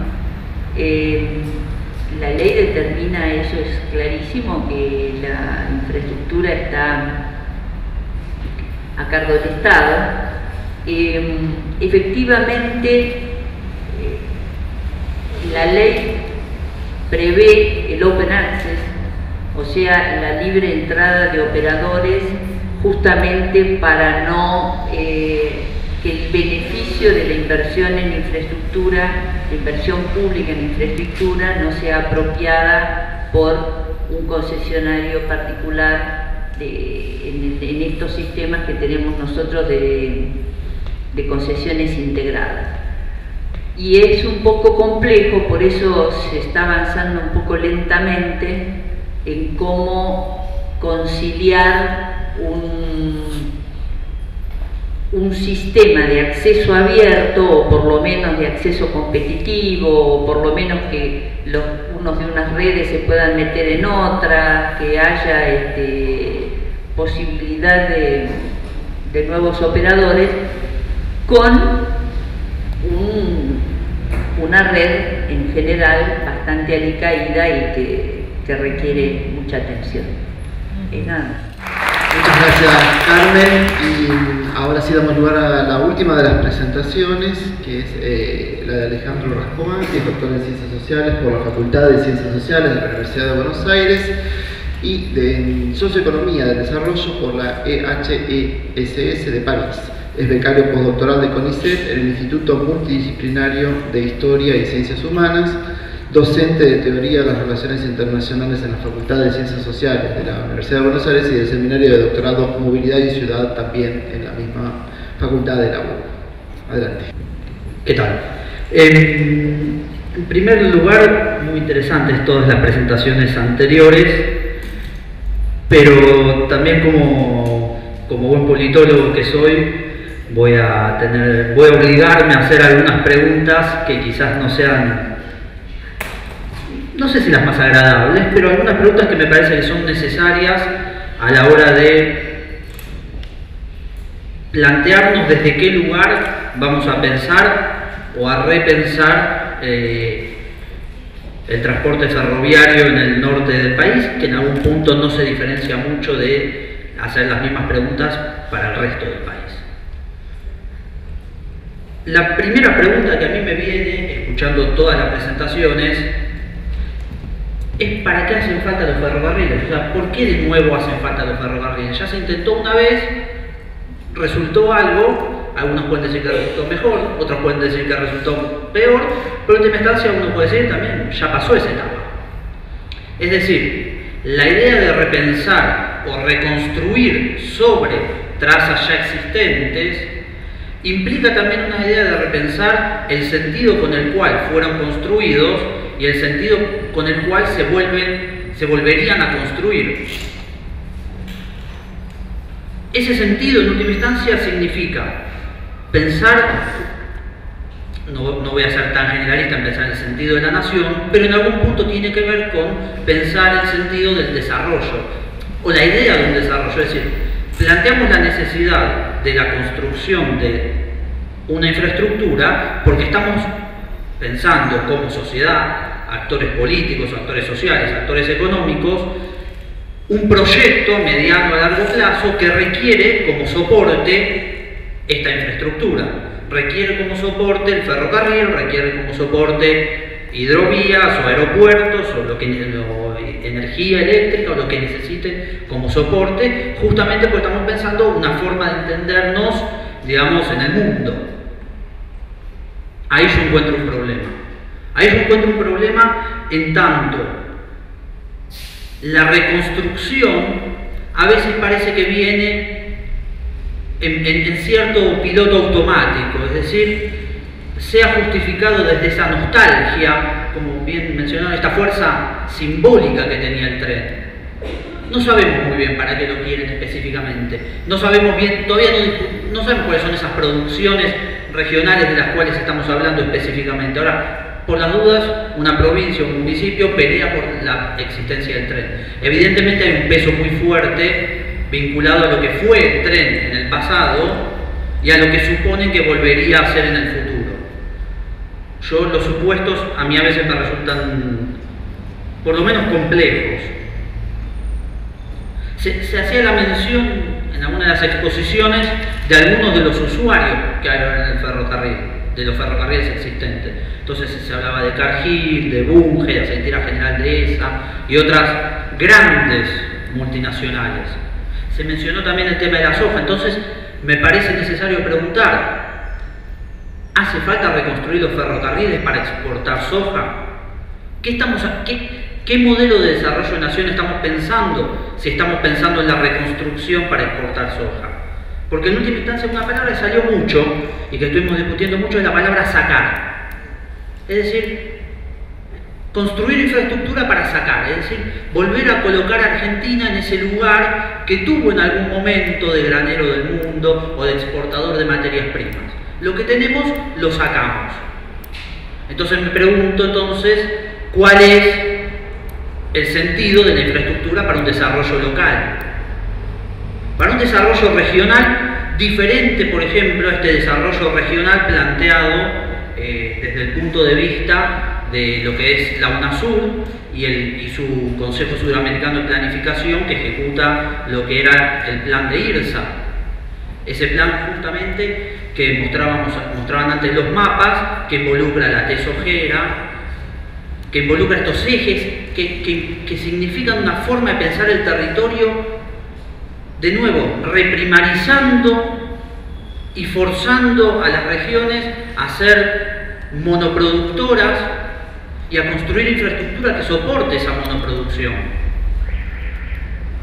Entonces, me parece válido preguntar, si vienen los fondos de China, ¿por qué? ¿Para qué? Evidentemente desde la política, cuando uno está en la función, y eso es claro, si hay que conseguir fondos, hay que conseguir fondos. Entonces, uno puede dar un discurso, me cae mejor China, peor China, mejor Rusia, peor Rusia, mejor el Fondo Monetario, peor el Fondo Monetario, conseguir recursos es una cosa. De todas maneras, desde la ciencia social, que es de donde yo hoy estoy hablando, me parece importante preguntarnos, ¿qué es la CAF? ¿Qué es la Corporación Andina de Fomento? Banco de Desarrollo de América del Sur. ¿Cuál es el sentido que tiene que, estas, que los fondos provengan de estas instituciones, o del Banco Interamericano de Desarrollo, o del FONPLATA, o de cualquier otra organización? De la misma manera en la cual en cierto sentido ya adquirido, en el cual creo que todos fuimos educados, de los ferrocarriles ingleses eran malos porque eran capitales eran ingleses y extranjeros, bueno, hace falta repreguntarse entonces de dónde vienen hoy los capitales. Porque suponemos que el lugar del que vengan los capitales evidentemente también va a implicar una forma sobre la cual están pensando se está pensando en esta reconstrucción de los ferrocarriles. Y esta reconstrucción va a implicar conflicto, y me parece que la palabra conflicto es importante y es interesante que salió algunas veces. En la primera presentación se, mencionó esta idea de hay trazas que fueron ocupadas. Entonces abre dos preguntas. La primera es, hay que volver a usar las mismas trazas. Las trazas originales fueron pensadas muchas en el siglo XIX, principio del siglo XX. Son las mismas necesidades 100 años después. Y en todo caso, si esas trazas están ocupadas, ¿qué es más importante? Si brindar, si ofrecer vivienda primero, o ver de qué manera garantizar el acceso a la vivienda y en paralelo, ahora, me parece que si no, estamos forzando una visión trencéntrica, podríamos decir. Es decir, forzar la idea de reconstruir tren por fuera de otros actores y otros conflictos sociales. Eh, yo planteaba en algún punto, creo que está en el, papel que les dieron, eh, la idea de de repensar la región también en términos geopolíticos. El término geopolítico tiene diferentes acepciones, no, no, me interesa mucho la militarista, pero sí me interesa esta idea de cuáles son las problemáticas político-territoriales conflictuales que pueden surgir por la reconstrucción o la planificación de diferentes infraestructuras. Es decir, de actores sociales que puedan responder positivamente como que puedan responder negativamente a la construcción de esa infraestructura, porque nos implica salir de la idea de que primero la infraestructura y después la población. Es más importante que pase el tren a, ver si no se construyó un barrio y que pase un tren de carga por esa zona tiene un sentido para esa población o no, o tal vez haya que repensar de qué forma acceden digamos, estas infraestructuras a los tejidos urbanos. Me, resulta interesante también que, que fue poco mencionado, es cierto que cuando hablamos Ahora ya de las redes en el norte hacemos mención a una red que es controlada por el Estado, pero evidentemente el tema de, las empresas privadas y de los monopolios vuelve a estar en, cierta discusión. Para mí la ley de ferrocarriles eh, del año pasado, aprobada el año pasado, tiene algunas problemáticas grandes, justamente en esta idea del open access, porque lo que le estaría permitiendo es a estas empresas concesionarias que nunca invirtieron lo que habían prometido, prometido perdón, lo que habían firmado por contrato invertir, volver a participar. Entonces nuevamente entramos en un círculo donde hay que preguntarse, ¿por qué el Estado tiene que invertir para X empresa o para otro? Es decir, el, sentido de la inversión estatal apunta a favorecer a diferentes actores sociales.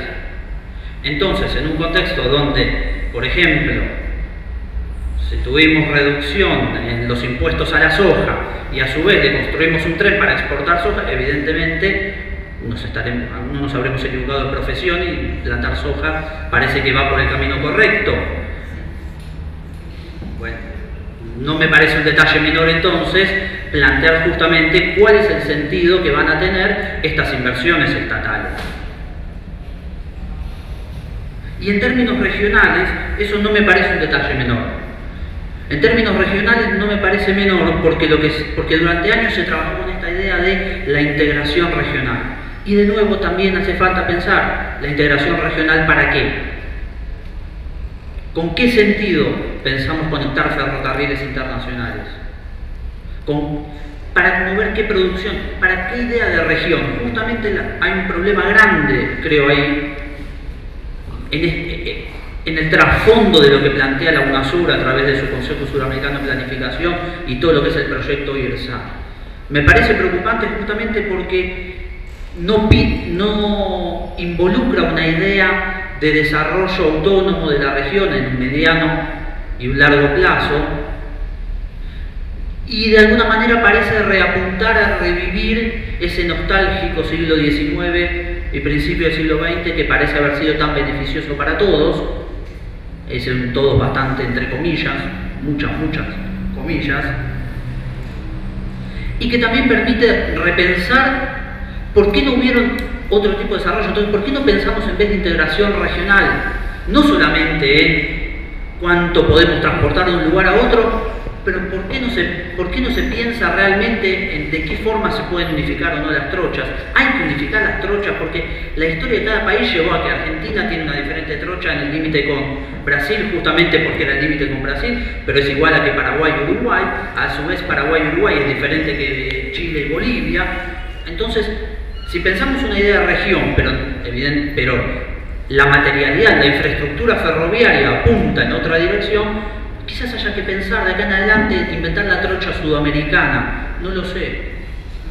Pero pensar en términos regionales implicaría pensar si existe una trocha sudamericana para pensar cuáles son los ferrocarriles que la región necesita. Y entonces podemos pensar un proyecto regional de construcción de locomotoras a mediano plazo. Entonces tres, cuatro países invierten no solamente recursos humanos y monetarios, en pensar de acá 20, 30 años cómo se empieza a sustituir, como ya se usó muchas veces, pero sustituir justamente e industrializar. Esa idea de industrialización, en términos ferroviarios, tiene que ver justamente con esto, lo ato con lo que empezaba al principio, en un para qué. Porque si no nos quedamos con la idea de reconstruir ferrocarriles justamente para exportar y si parte de eso que está siendo exportado encima tiene pocos impuestos, la pregunta es ¿a quién estamos favoreciendo cuando planteamos esta reconstrucción ferroviaria? Y ese me parece el eje fundamental. En ese sentido,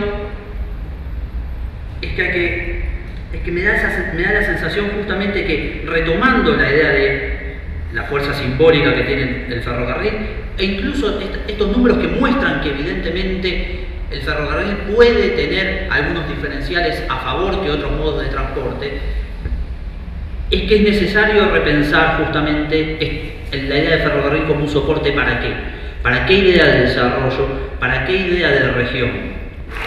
Bueno, tenemos ahí nuestra, nuestra última presentación. Tenemos un, tiempo, unos 10 minutos para hacer unas rondas de, de preguntas a los presentadores antes del intervalo con café y luego lo tomaríamos con la discusión en, grupos. Sí, le voy a pedir a, quienes hagan las preguntas que se acerquen aquí al frente para que quede registrada en la, en la filmación.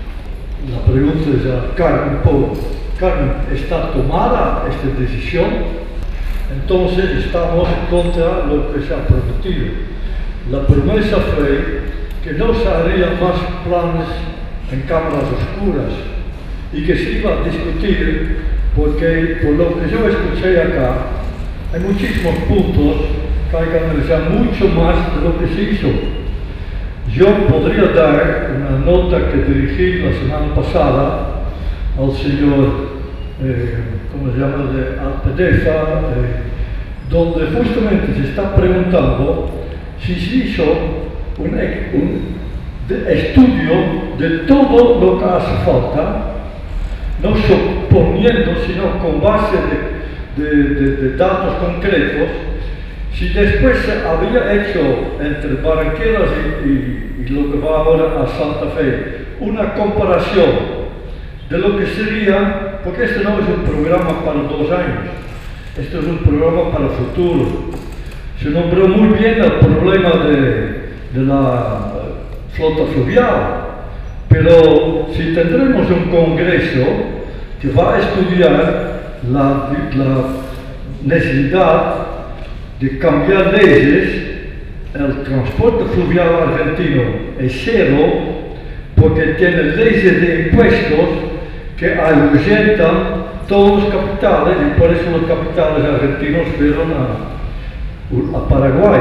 Entonces, ¿está tomada la decisión o todavía hay discusiones para ver si se puede replantear, porque estoy seguro de que no hay un, estudio profundo, porque el transporte fluvial argentino, con nuevas leyes de, impuestos, se va a recuperar. Es, una, en el 2008, los sindicatos hicieron... Okay.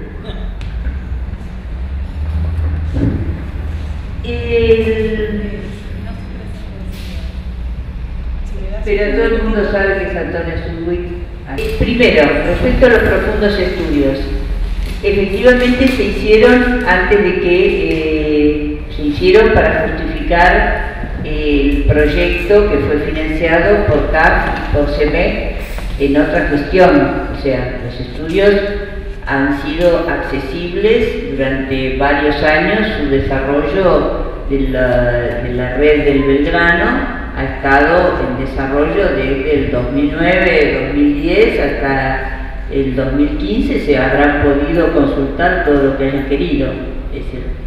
Ahora, eh, se encontró un préstamo de ejecución, no un préstamo, un proyecto a desarrollar y a justificar.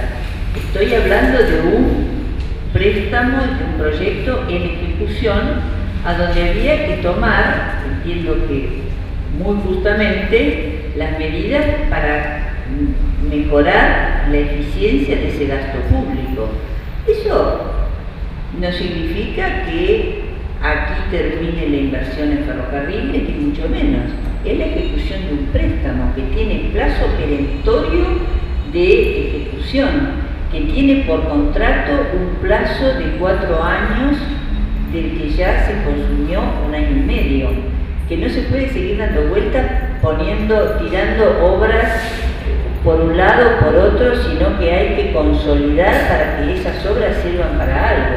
Por supuesto que está recontra mi criterio justificado el haber movido esos fondos lo que no significa en absoluto nada respecto a ninguna determinación que se haya tomado sobre ni Barranquera ni ese ramal del transporte fluvial que seguirán su curso de desarrollo obteniendo como por ejemplo tanto puerto que ha concitado algún interés, de hecho son puertos provinciales, este, público-privado. Bueno, segunda sesión. Yo creo que el, tramo este, Abalteray, este, Barranquera, tiene el proyecto terminado, en ningún momento está totalmente dentro del proyecto general de recuperación de la T desestimado. Pasa que momentáneamente para poder se hizo acentuado en un tramo a los efectos de terminar, pero Barranquera está dentro de aviataraya Barranqueras estaba licitada y ya adjudicada. Así que no es un... Nada más. Sí, digamos, yo coincido con el, con el señor.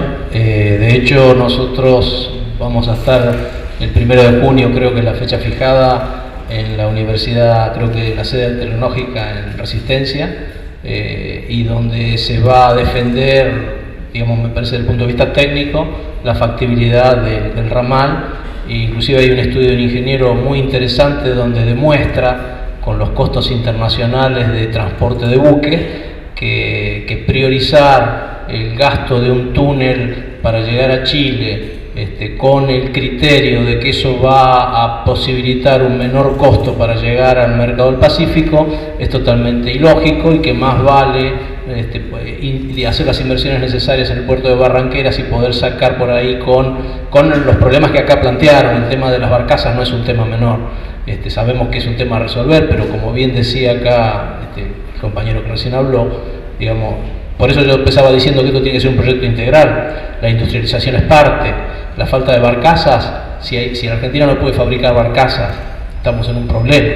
Esto tiene que formar parte, creo yo, de un tema integral. Y si me permitís, porque no me voy a poder quedar al taller, me, pareció muy interesante el aporte de porque esta es una discusión filosófica que él planteó, que yo la he tenido muchas veces si las líneas de transporte deben hacerse a donde está la demanda, o, si las líneas de transporte tienen que ir antes para inducir la demanda.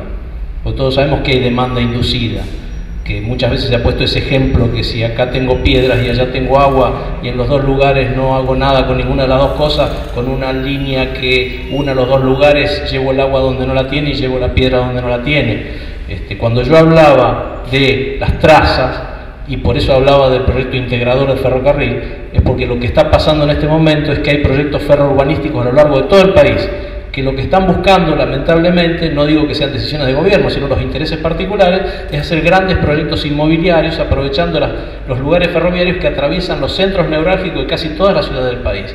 Y donde la verdad que esas redes pueden claramente ser un sistema de transporte urbano en beneficio de la calidad de vida y de la calidad del transporte de las ciudades, además de poder ser utilizado para el transporte de carga. Eso grandes rasgos nada más. Muchas gracias, muy, muy interesantes todas las presentaciones y bueno, mi nombre es Maxo Velázquez del Privat también.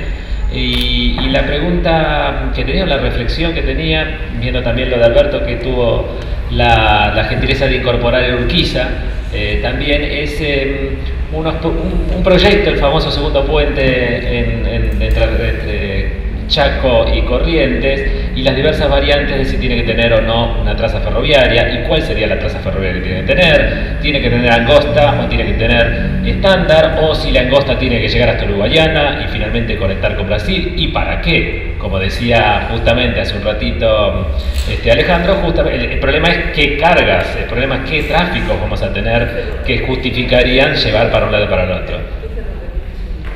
¿Y qué ferrocarriles unirías? ¿Y cuáles son los intereses de esos ferrocarriles? Por ahí era interesante cuando eso era al logística y, en otros contextos puede, puede no serlo. Y en ese sentido, pensar esta idea de integración eh, este, internacional para qué tráficos. ¿Hay algún tipo de estudio que ustedes hayan, hayan identificado respecto de cuáles son los tráficos en los países vecinos que podrían ser compartidos con Argentina? Estudios sobre tráficos regionales eh, ferroviarios hay muchos, no en particular de, realizados sistemáticamente por el Estado argentino, su Secretaría de Transporte y nuevo ministerio. En nosotros es disculpable, somos muy recientes. Históricamente, en general, se han hecho muy pocos. Eh, pero bueno, conocemos bastante y hay bastante historia de lo que han sido los intercambios eh, ferroviarios con las redes de Chile, de, Bolivia, de Paraguay, de Brasil, etc. esto es una opinión personal. Eh, en este momento yo creo que no es la prioridad para el sistema ferroviario argentino. Es decir, la conexión que funciona por el C14 con Chile, bueno, sigue funcionando, se le ha hecho un mejoramiento, hay un tráfico de intercambio eh, con entrada de, material rodante eh, chileno. En el caso de las dos vías a, Bolivia, que a mí particularmente siempre me hubiera encantado que siguieran operativas y me parece que, porque, porque conozco ese ferrocarril, porque conozco el ferrocarril boliviano, porque, bueno, de hecho en ambos casos están una prácticamente ya perdida y hay que reconstruirla totalmente y otra interrumpida. Los tráficos de intercambio ah, por el momento son pequeños. Por ejemplo, siempre se habló de la, eh, de la posibilidad, que parece evidente, de la bajada de soja boliviana por el ferrocarril Belgrano con destino a nuestra hidrovía y demás.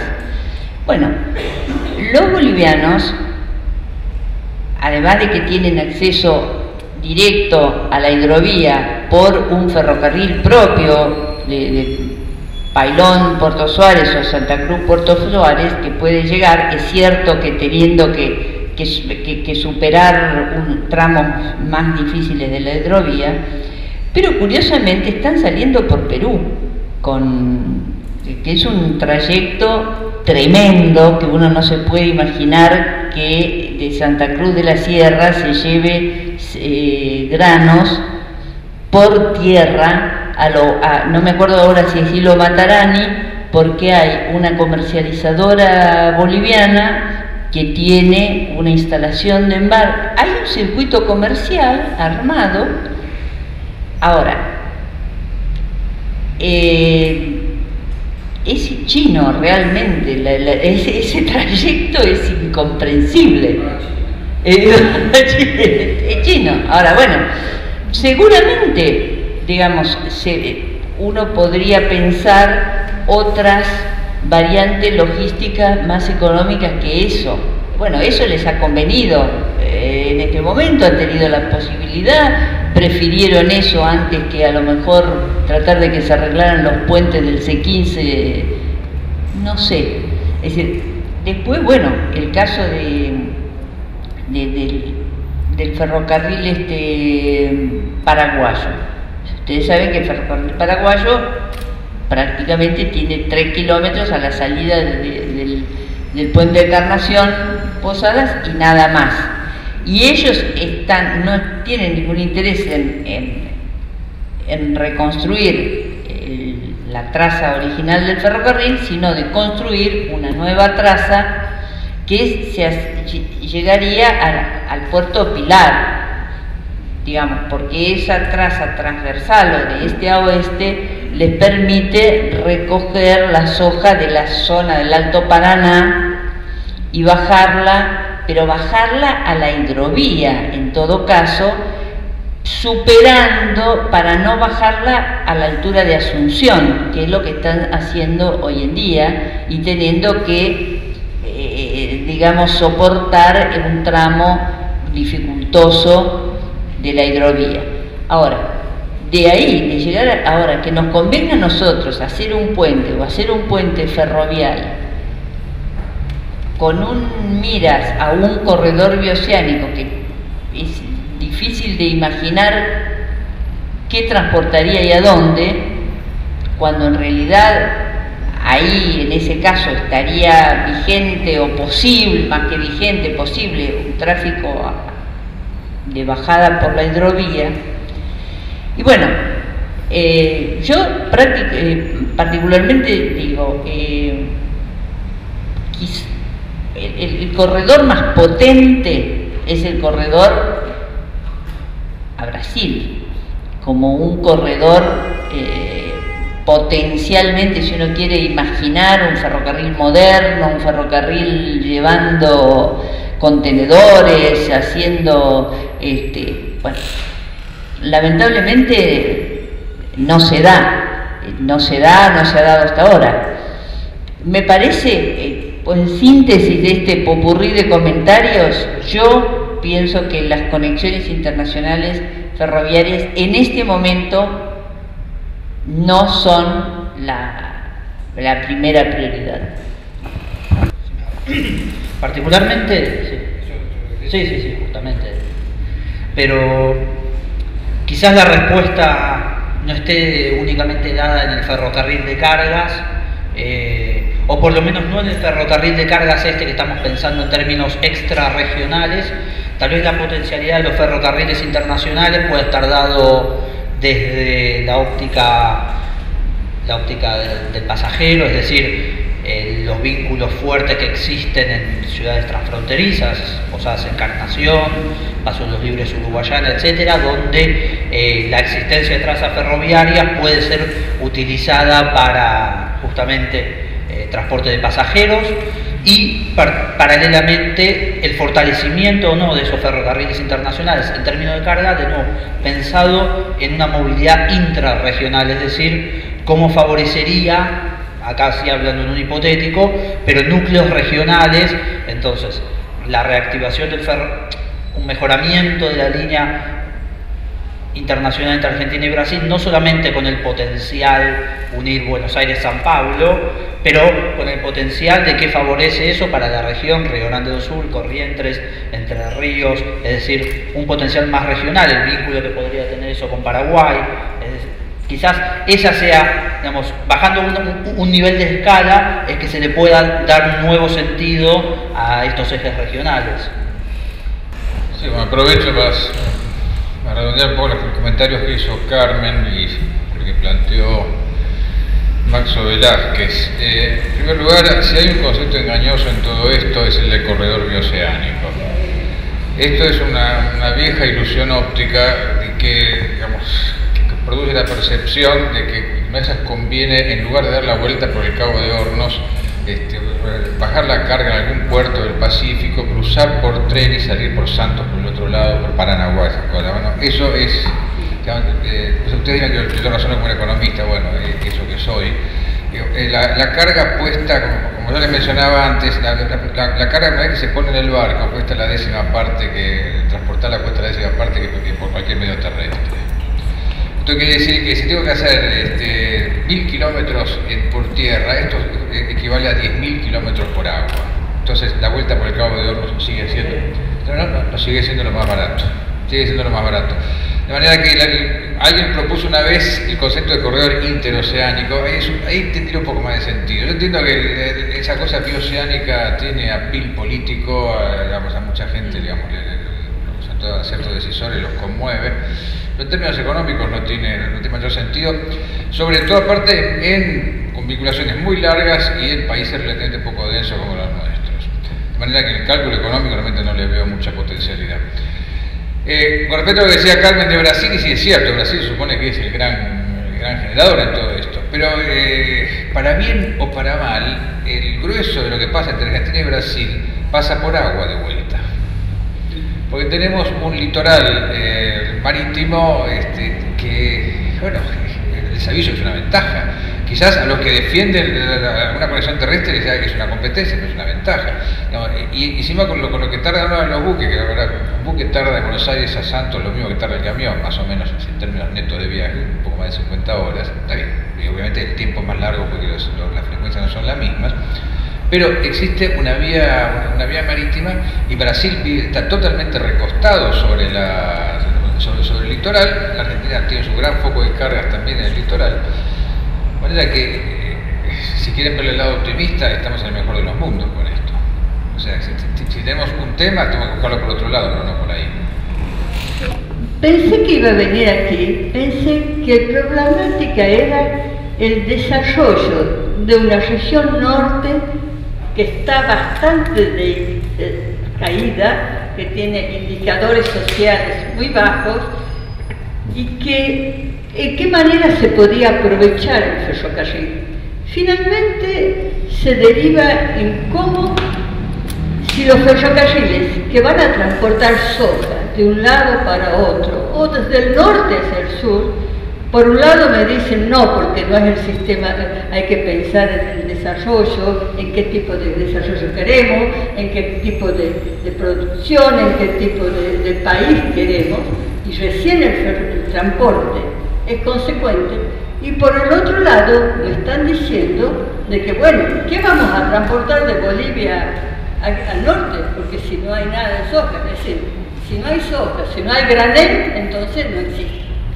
Sin embargo, yo pensaba que aquí se trataba que dado una red que por parte está operativa a lo mejor hay que profundizar, hay que ver si realmente es económicamente positivo para el país de seguir, pero existen economías regionales andinas que se solucionan con el transporte automotor, a lo mejor directamente, porque no puede llegar, pero sí hay, sí, el sentido es ver cómo esas economías que están haciendo vino, que están haciendo aceituna, que son pequeñas economías, pueden organizarse territorialmente en centros de concentración, de producción, de complementación, que pueden también tener vinculación con economías similares del otro país, pueden realmente ir transformando este, esta región de extracción histórica en una región productiva diversificada. Yo voy a contar el caso de Tucumán, que en determinado momento fue, tenía una gran matriz de este, producción azucarera que después se cae. Pero esa producción azucarera, porque necesitaba todos los años reparar toda la maquinaria, creó una industria de autoparte, una industria de maquinarias agrícolas que exportaba a Bolivia. En el tiempo, bueno, de mi juventud, así era directamente, que después todo se cayó, pero no necesitaba es decir, con ese pequeño ferrocarril, por esa conexión que había, no es que vamos a hacer un ferrocarril modernísimo. La integración en este momento para nosotros no constituye pasar trenes de 150 vagones porque no podríamos pasar por ninguna parte ni que están a alta velocidad, los de alta prestación ni nada, sino justamente, y creo que desde el punto de vista local, empresario, regional, ver cómo se pueden ir integrando esas pequeñas economías en algo más concentrado y que después se verá si es el ferrocarril, si es a lo mejor el bitren, no, que es peor todavía, o lo que sea, pero es, pasa justamente por tener el modelo de desarrollo productivo que queremos, el modelo para transformar. El, ferrocarril no es nada más que un medio entre dos momentos de producción, distribución, de producción y desgraciadamente el ferrocarril tenemos muy claro que necesita una masa de demanda para poder transportar, si no, no es económica, necesita distancia, necesita una cierta característica, necesita una calidad de gestión que, que es mucho más difícil de conseguir que la misma infraestructura, porque en última instancia eso existe. Muy bien, muchas gracias. Con esto cerramos esta primera parte, hacemos un intervalo, tomamos un café, comemos una factura.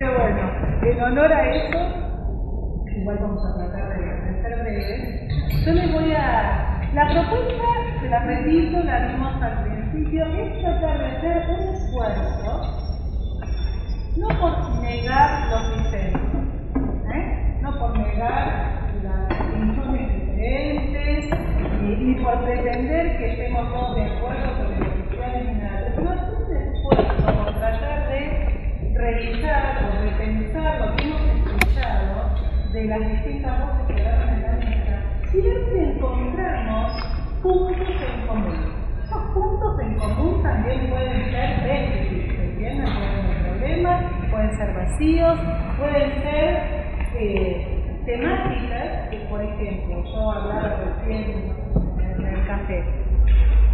Yo quiero dar un ejemplo que tomé nota yo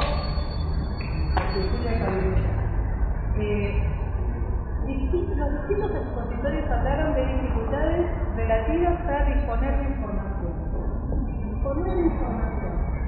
Este tema apareció, emergió desde distintos lugares. Desde que diga, bueno, a ver, vamos por el ejemplo de la brocha esa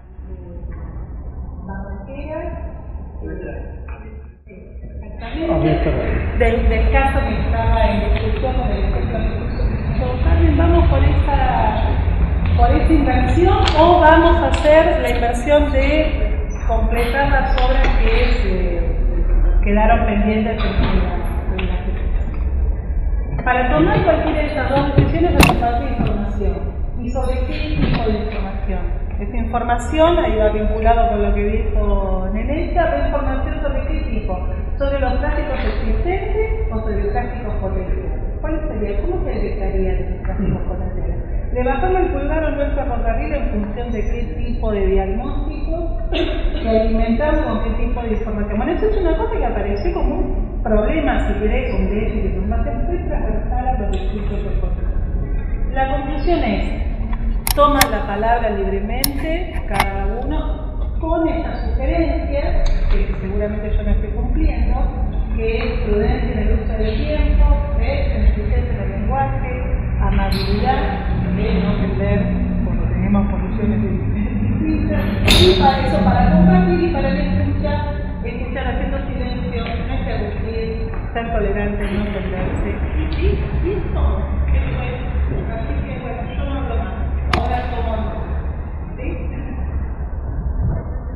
Soy Antonio Felipe, tengo 84 años, llegué al país de los 56. He estudiado, como puedes absolutamente decir, como nadie, los temas de transporte intermodal. Me gustaría mucho si podríamos empezar con la pregunta ¿cuáles serán las ventajas comparativas de la reactivación, reactivación del sistema ferroviario para las regiones Meia Nova. Puedo empezar un poco sobre esta pregunta. La Meia Nova. Disculpe, señor, pero ahí no nos vamos a ir de la dinámica. Bueno, ¿no? La Meia Nova es la región más castigada siempre de Argentina, que se ha prometido siempre mucho y se ha hecho poco. La Meia Nova se desarrolló con el ferrocarril belgrano y la flota fluvial de Mihanovic Dodero. Lo que el país tiene que poner como objetivo, que está comprobado en estudios internacionales, es aplicar sistemas de transporte intermodal. Usted fue la única que dos veces dijo transporte intermodal. Hay que leer los estudios hechos en el mundo y allá después tenemos que seguir sobre todas las otras preguntas que se van a contestar cuando se ha hecho una pregunta de cómo funciona el transporte intermodal. Y por eso es tan importante para que se está hablando ahora de tirar de Aviasaray al puerto de Santa Fe, que ni siquiera es el puerto de ultramar, porque Santa Fe no va casi ningún buque. Tiene que ir a Rosario. Si iría a Rosario, entra en Rosario en un circuito que está minado de problemas. Si va a Barranqueras, se va a repetir lo que yo aprendí como cadete en Holanda del transporte intermodal Argentina cuando el nombre ni existía, pero se dijo que en la cuenca del Plata había una empresa argentina fluvial y un ferrocarril del Estado que hacía funcionar muy bien el transporte intermodal en 1930, cuando no existió. Ustedes argentinos tienen que volver un poco a su historia, porque no es vieja historia de para qué le vamos a hacer, sino ver cómo se puede volver a la Argentina del año 1956, cuando tenía las barras de oro en el pasillo del Banco Central, porque no había lugar en las, eh, es? en las cajas de fuera. Esto es, a mi entender, el punto de partida de cualquier estudio que se va a hacer. ¿Cómo puede Argentina volver a ser un ejemplo de puertos y ferrocarriles en el mundo y adaptar esto a la situación de ahora, que el buque ya no es así chiquitito, sino así enorme, y esto hay que estudiar en el sistema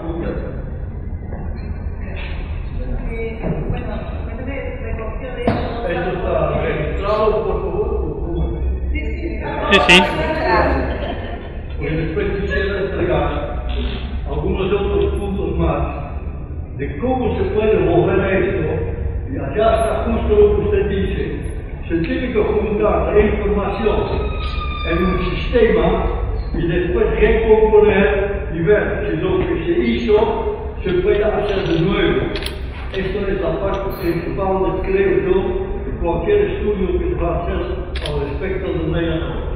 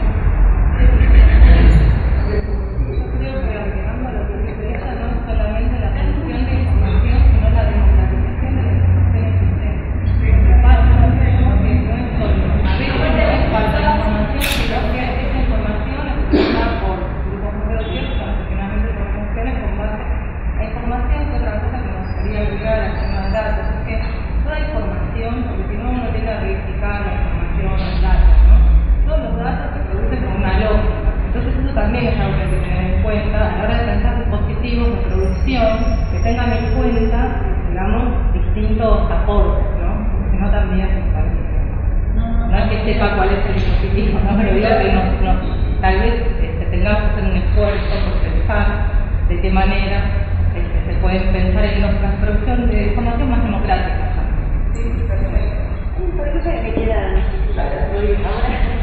Eh, uno de los temas que nos interna cuando va a hacer una inversión, una nueva, que eh, tiene que ver con muchas veces estamos gastando fortuna, vamos a gastar en estas obras, en lugar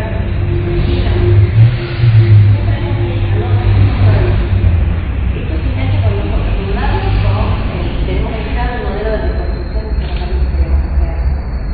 Y tenemos el claro quiénes son los sectores que la reconstrucción son y de alguna manera también tomar eh, cierta recuperación de todo lo que digamos, comprometer de alguna manera estos sectores que también colaboren o apoyen este tipo de es un tema que no sé cuánto vamos a gastar en esta obra. Realmente hoy pusieron un valor que antes eran 2.000 millones, 2.000 millones, 2.000 millones de dólares. Y no funciona porque no están las conexiones con el medio. Los pequeños productores, ¿cómo se apropian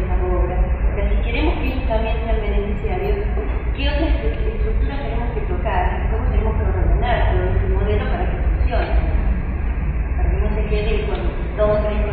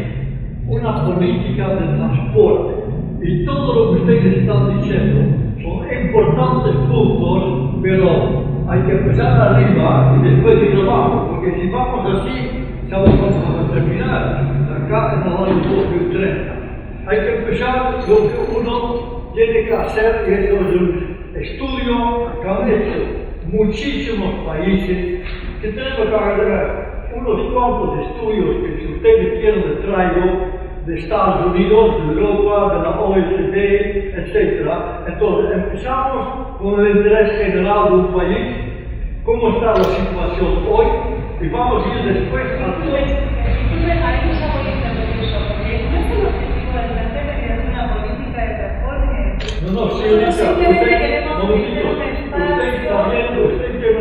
No, me desalienta toda la que está participando. No me todo el conjunto, porque ya sé no vamos a poder hacer todo, pero están participando todos para ver juntos de proceso. No vamos a desalentar a todos. No se me pinche, por favor. No se. No, no, sí, pero simplemente. Ah,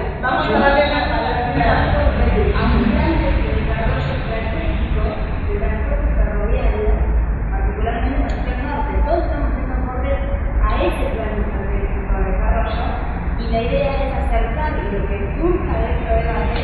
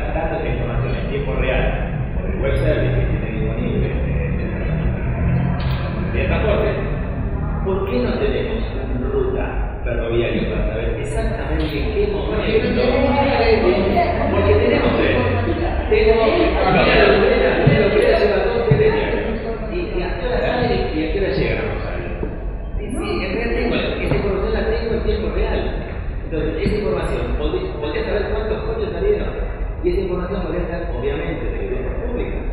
Ahí están los jueces preparados para recibir información de camiones. Ese mismo juez puede recibir información de trenes, seguro. Seguro que si tengo la empresa, o sea, con el mismo Marcelo dice la misma cosa que tengo, podría estar alimentando mi corriente, una base de datos enorme de noticias que quiere decir. Entonces, cuando vinieron los caminos, dejaron todo lo que había. Hoy está comprobado en todas partes del mundo de que una combinación de transporte, los tres modos. Más importantes, ferrocarril, transporte por agua y por camión, son, tienen que buscar dónde está al final el más barato, el sistema más barato, en infraestructura, en cadena logística.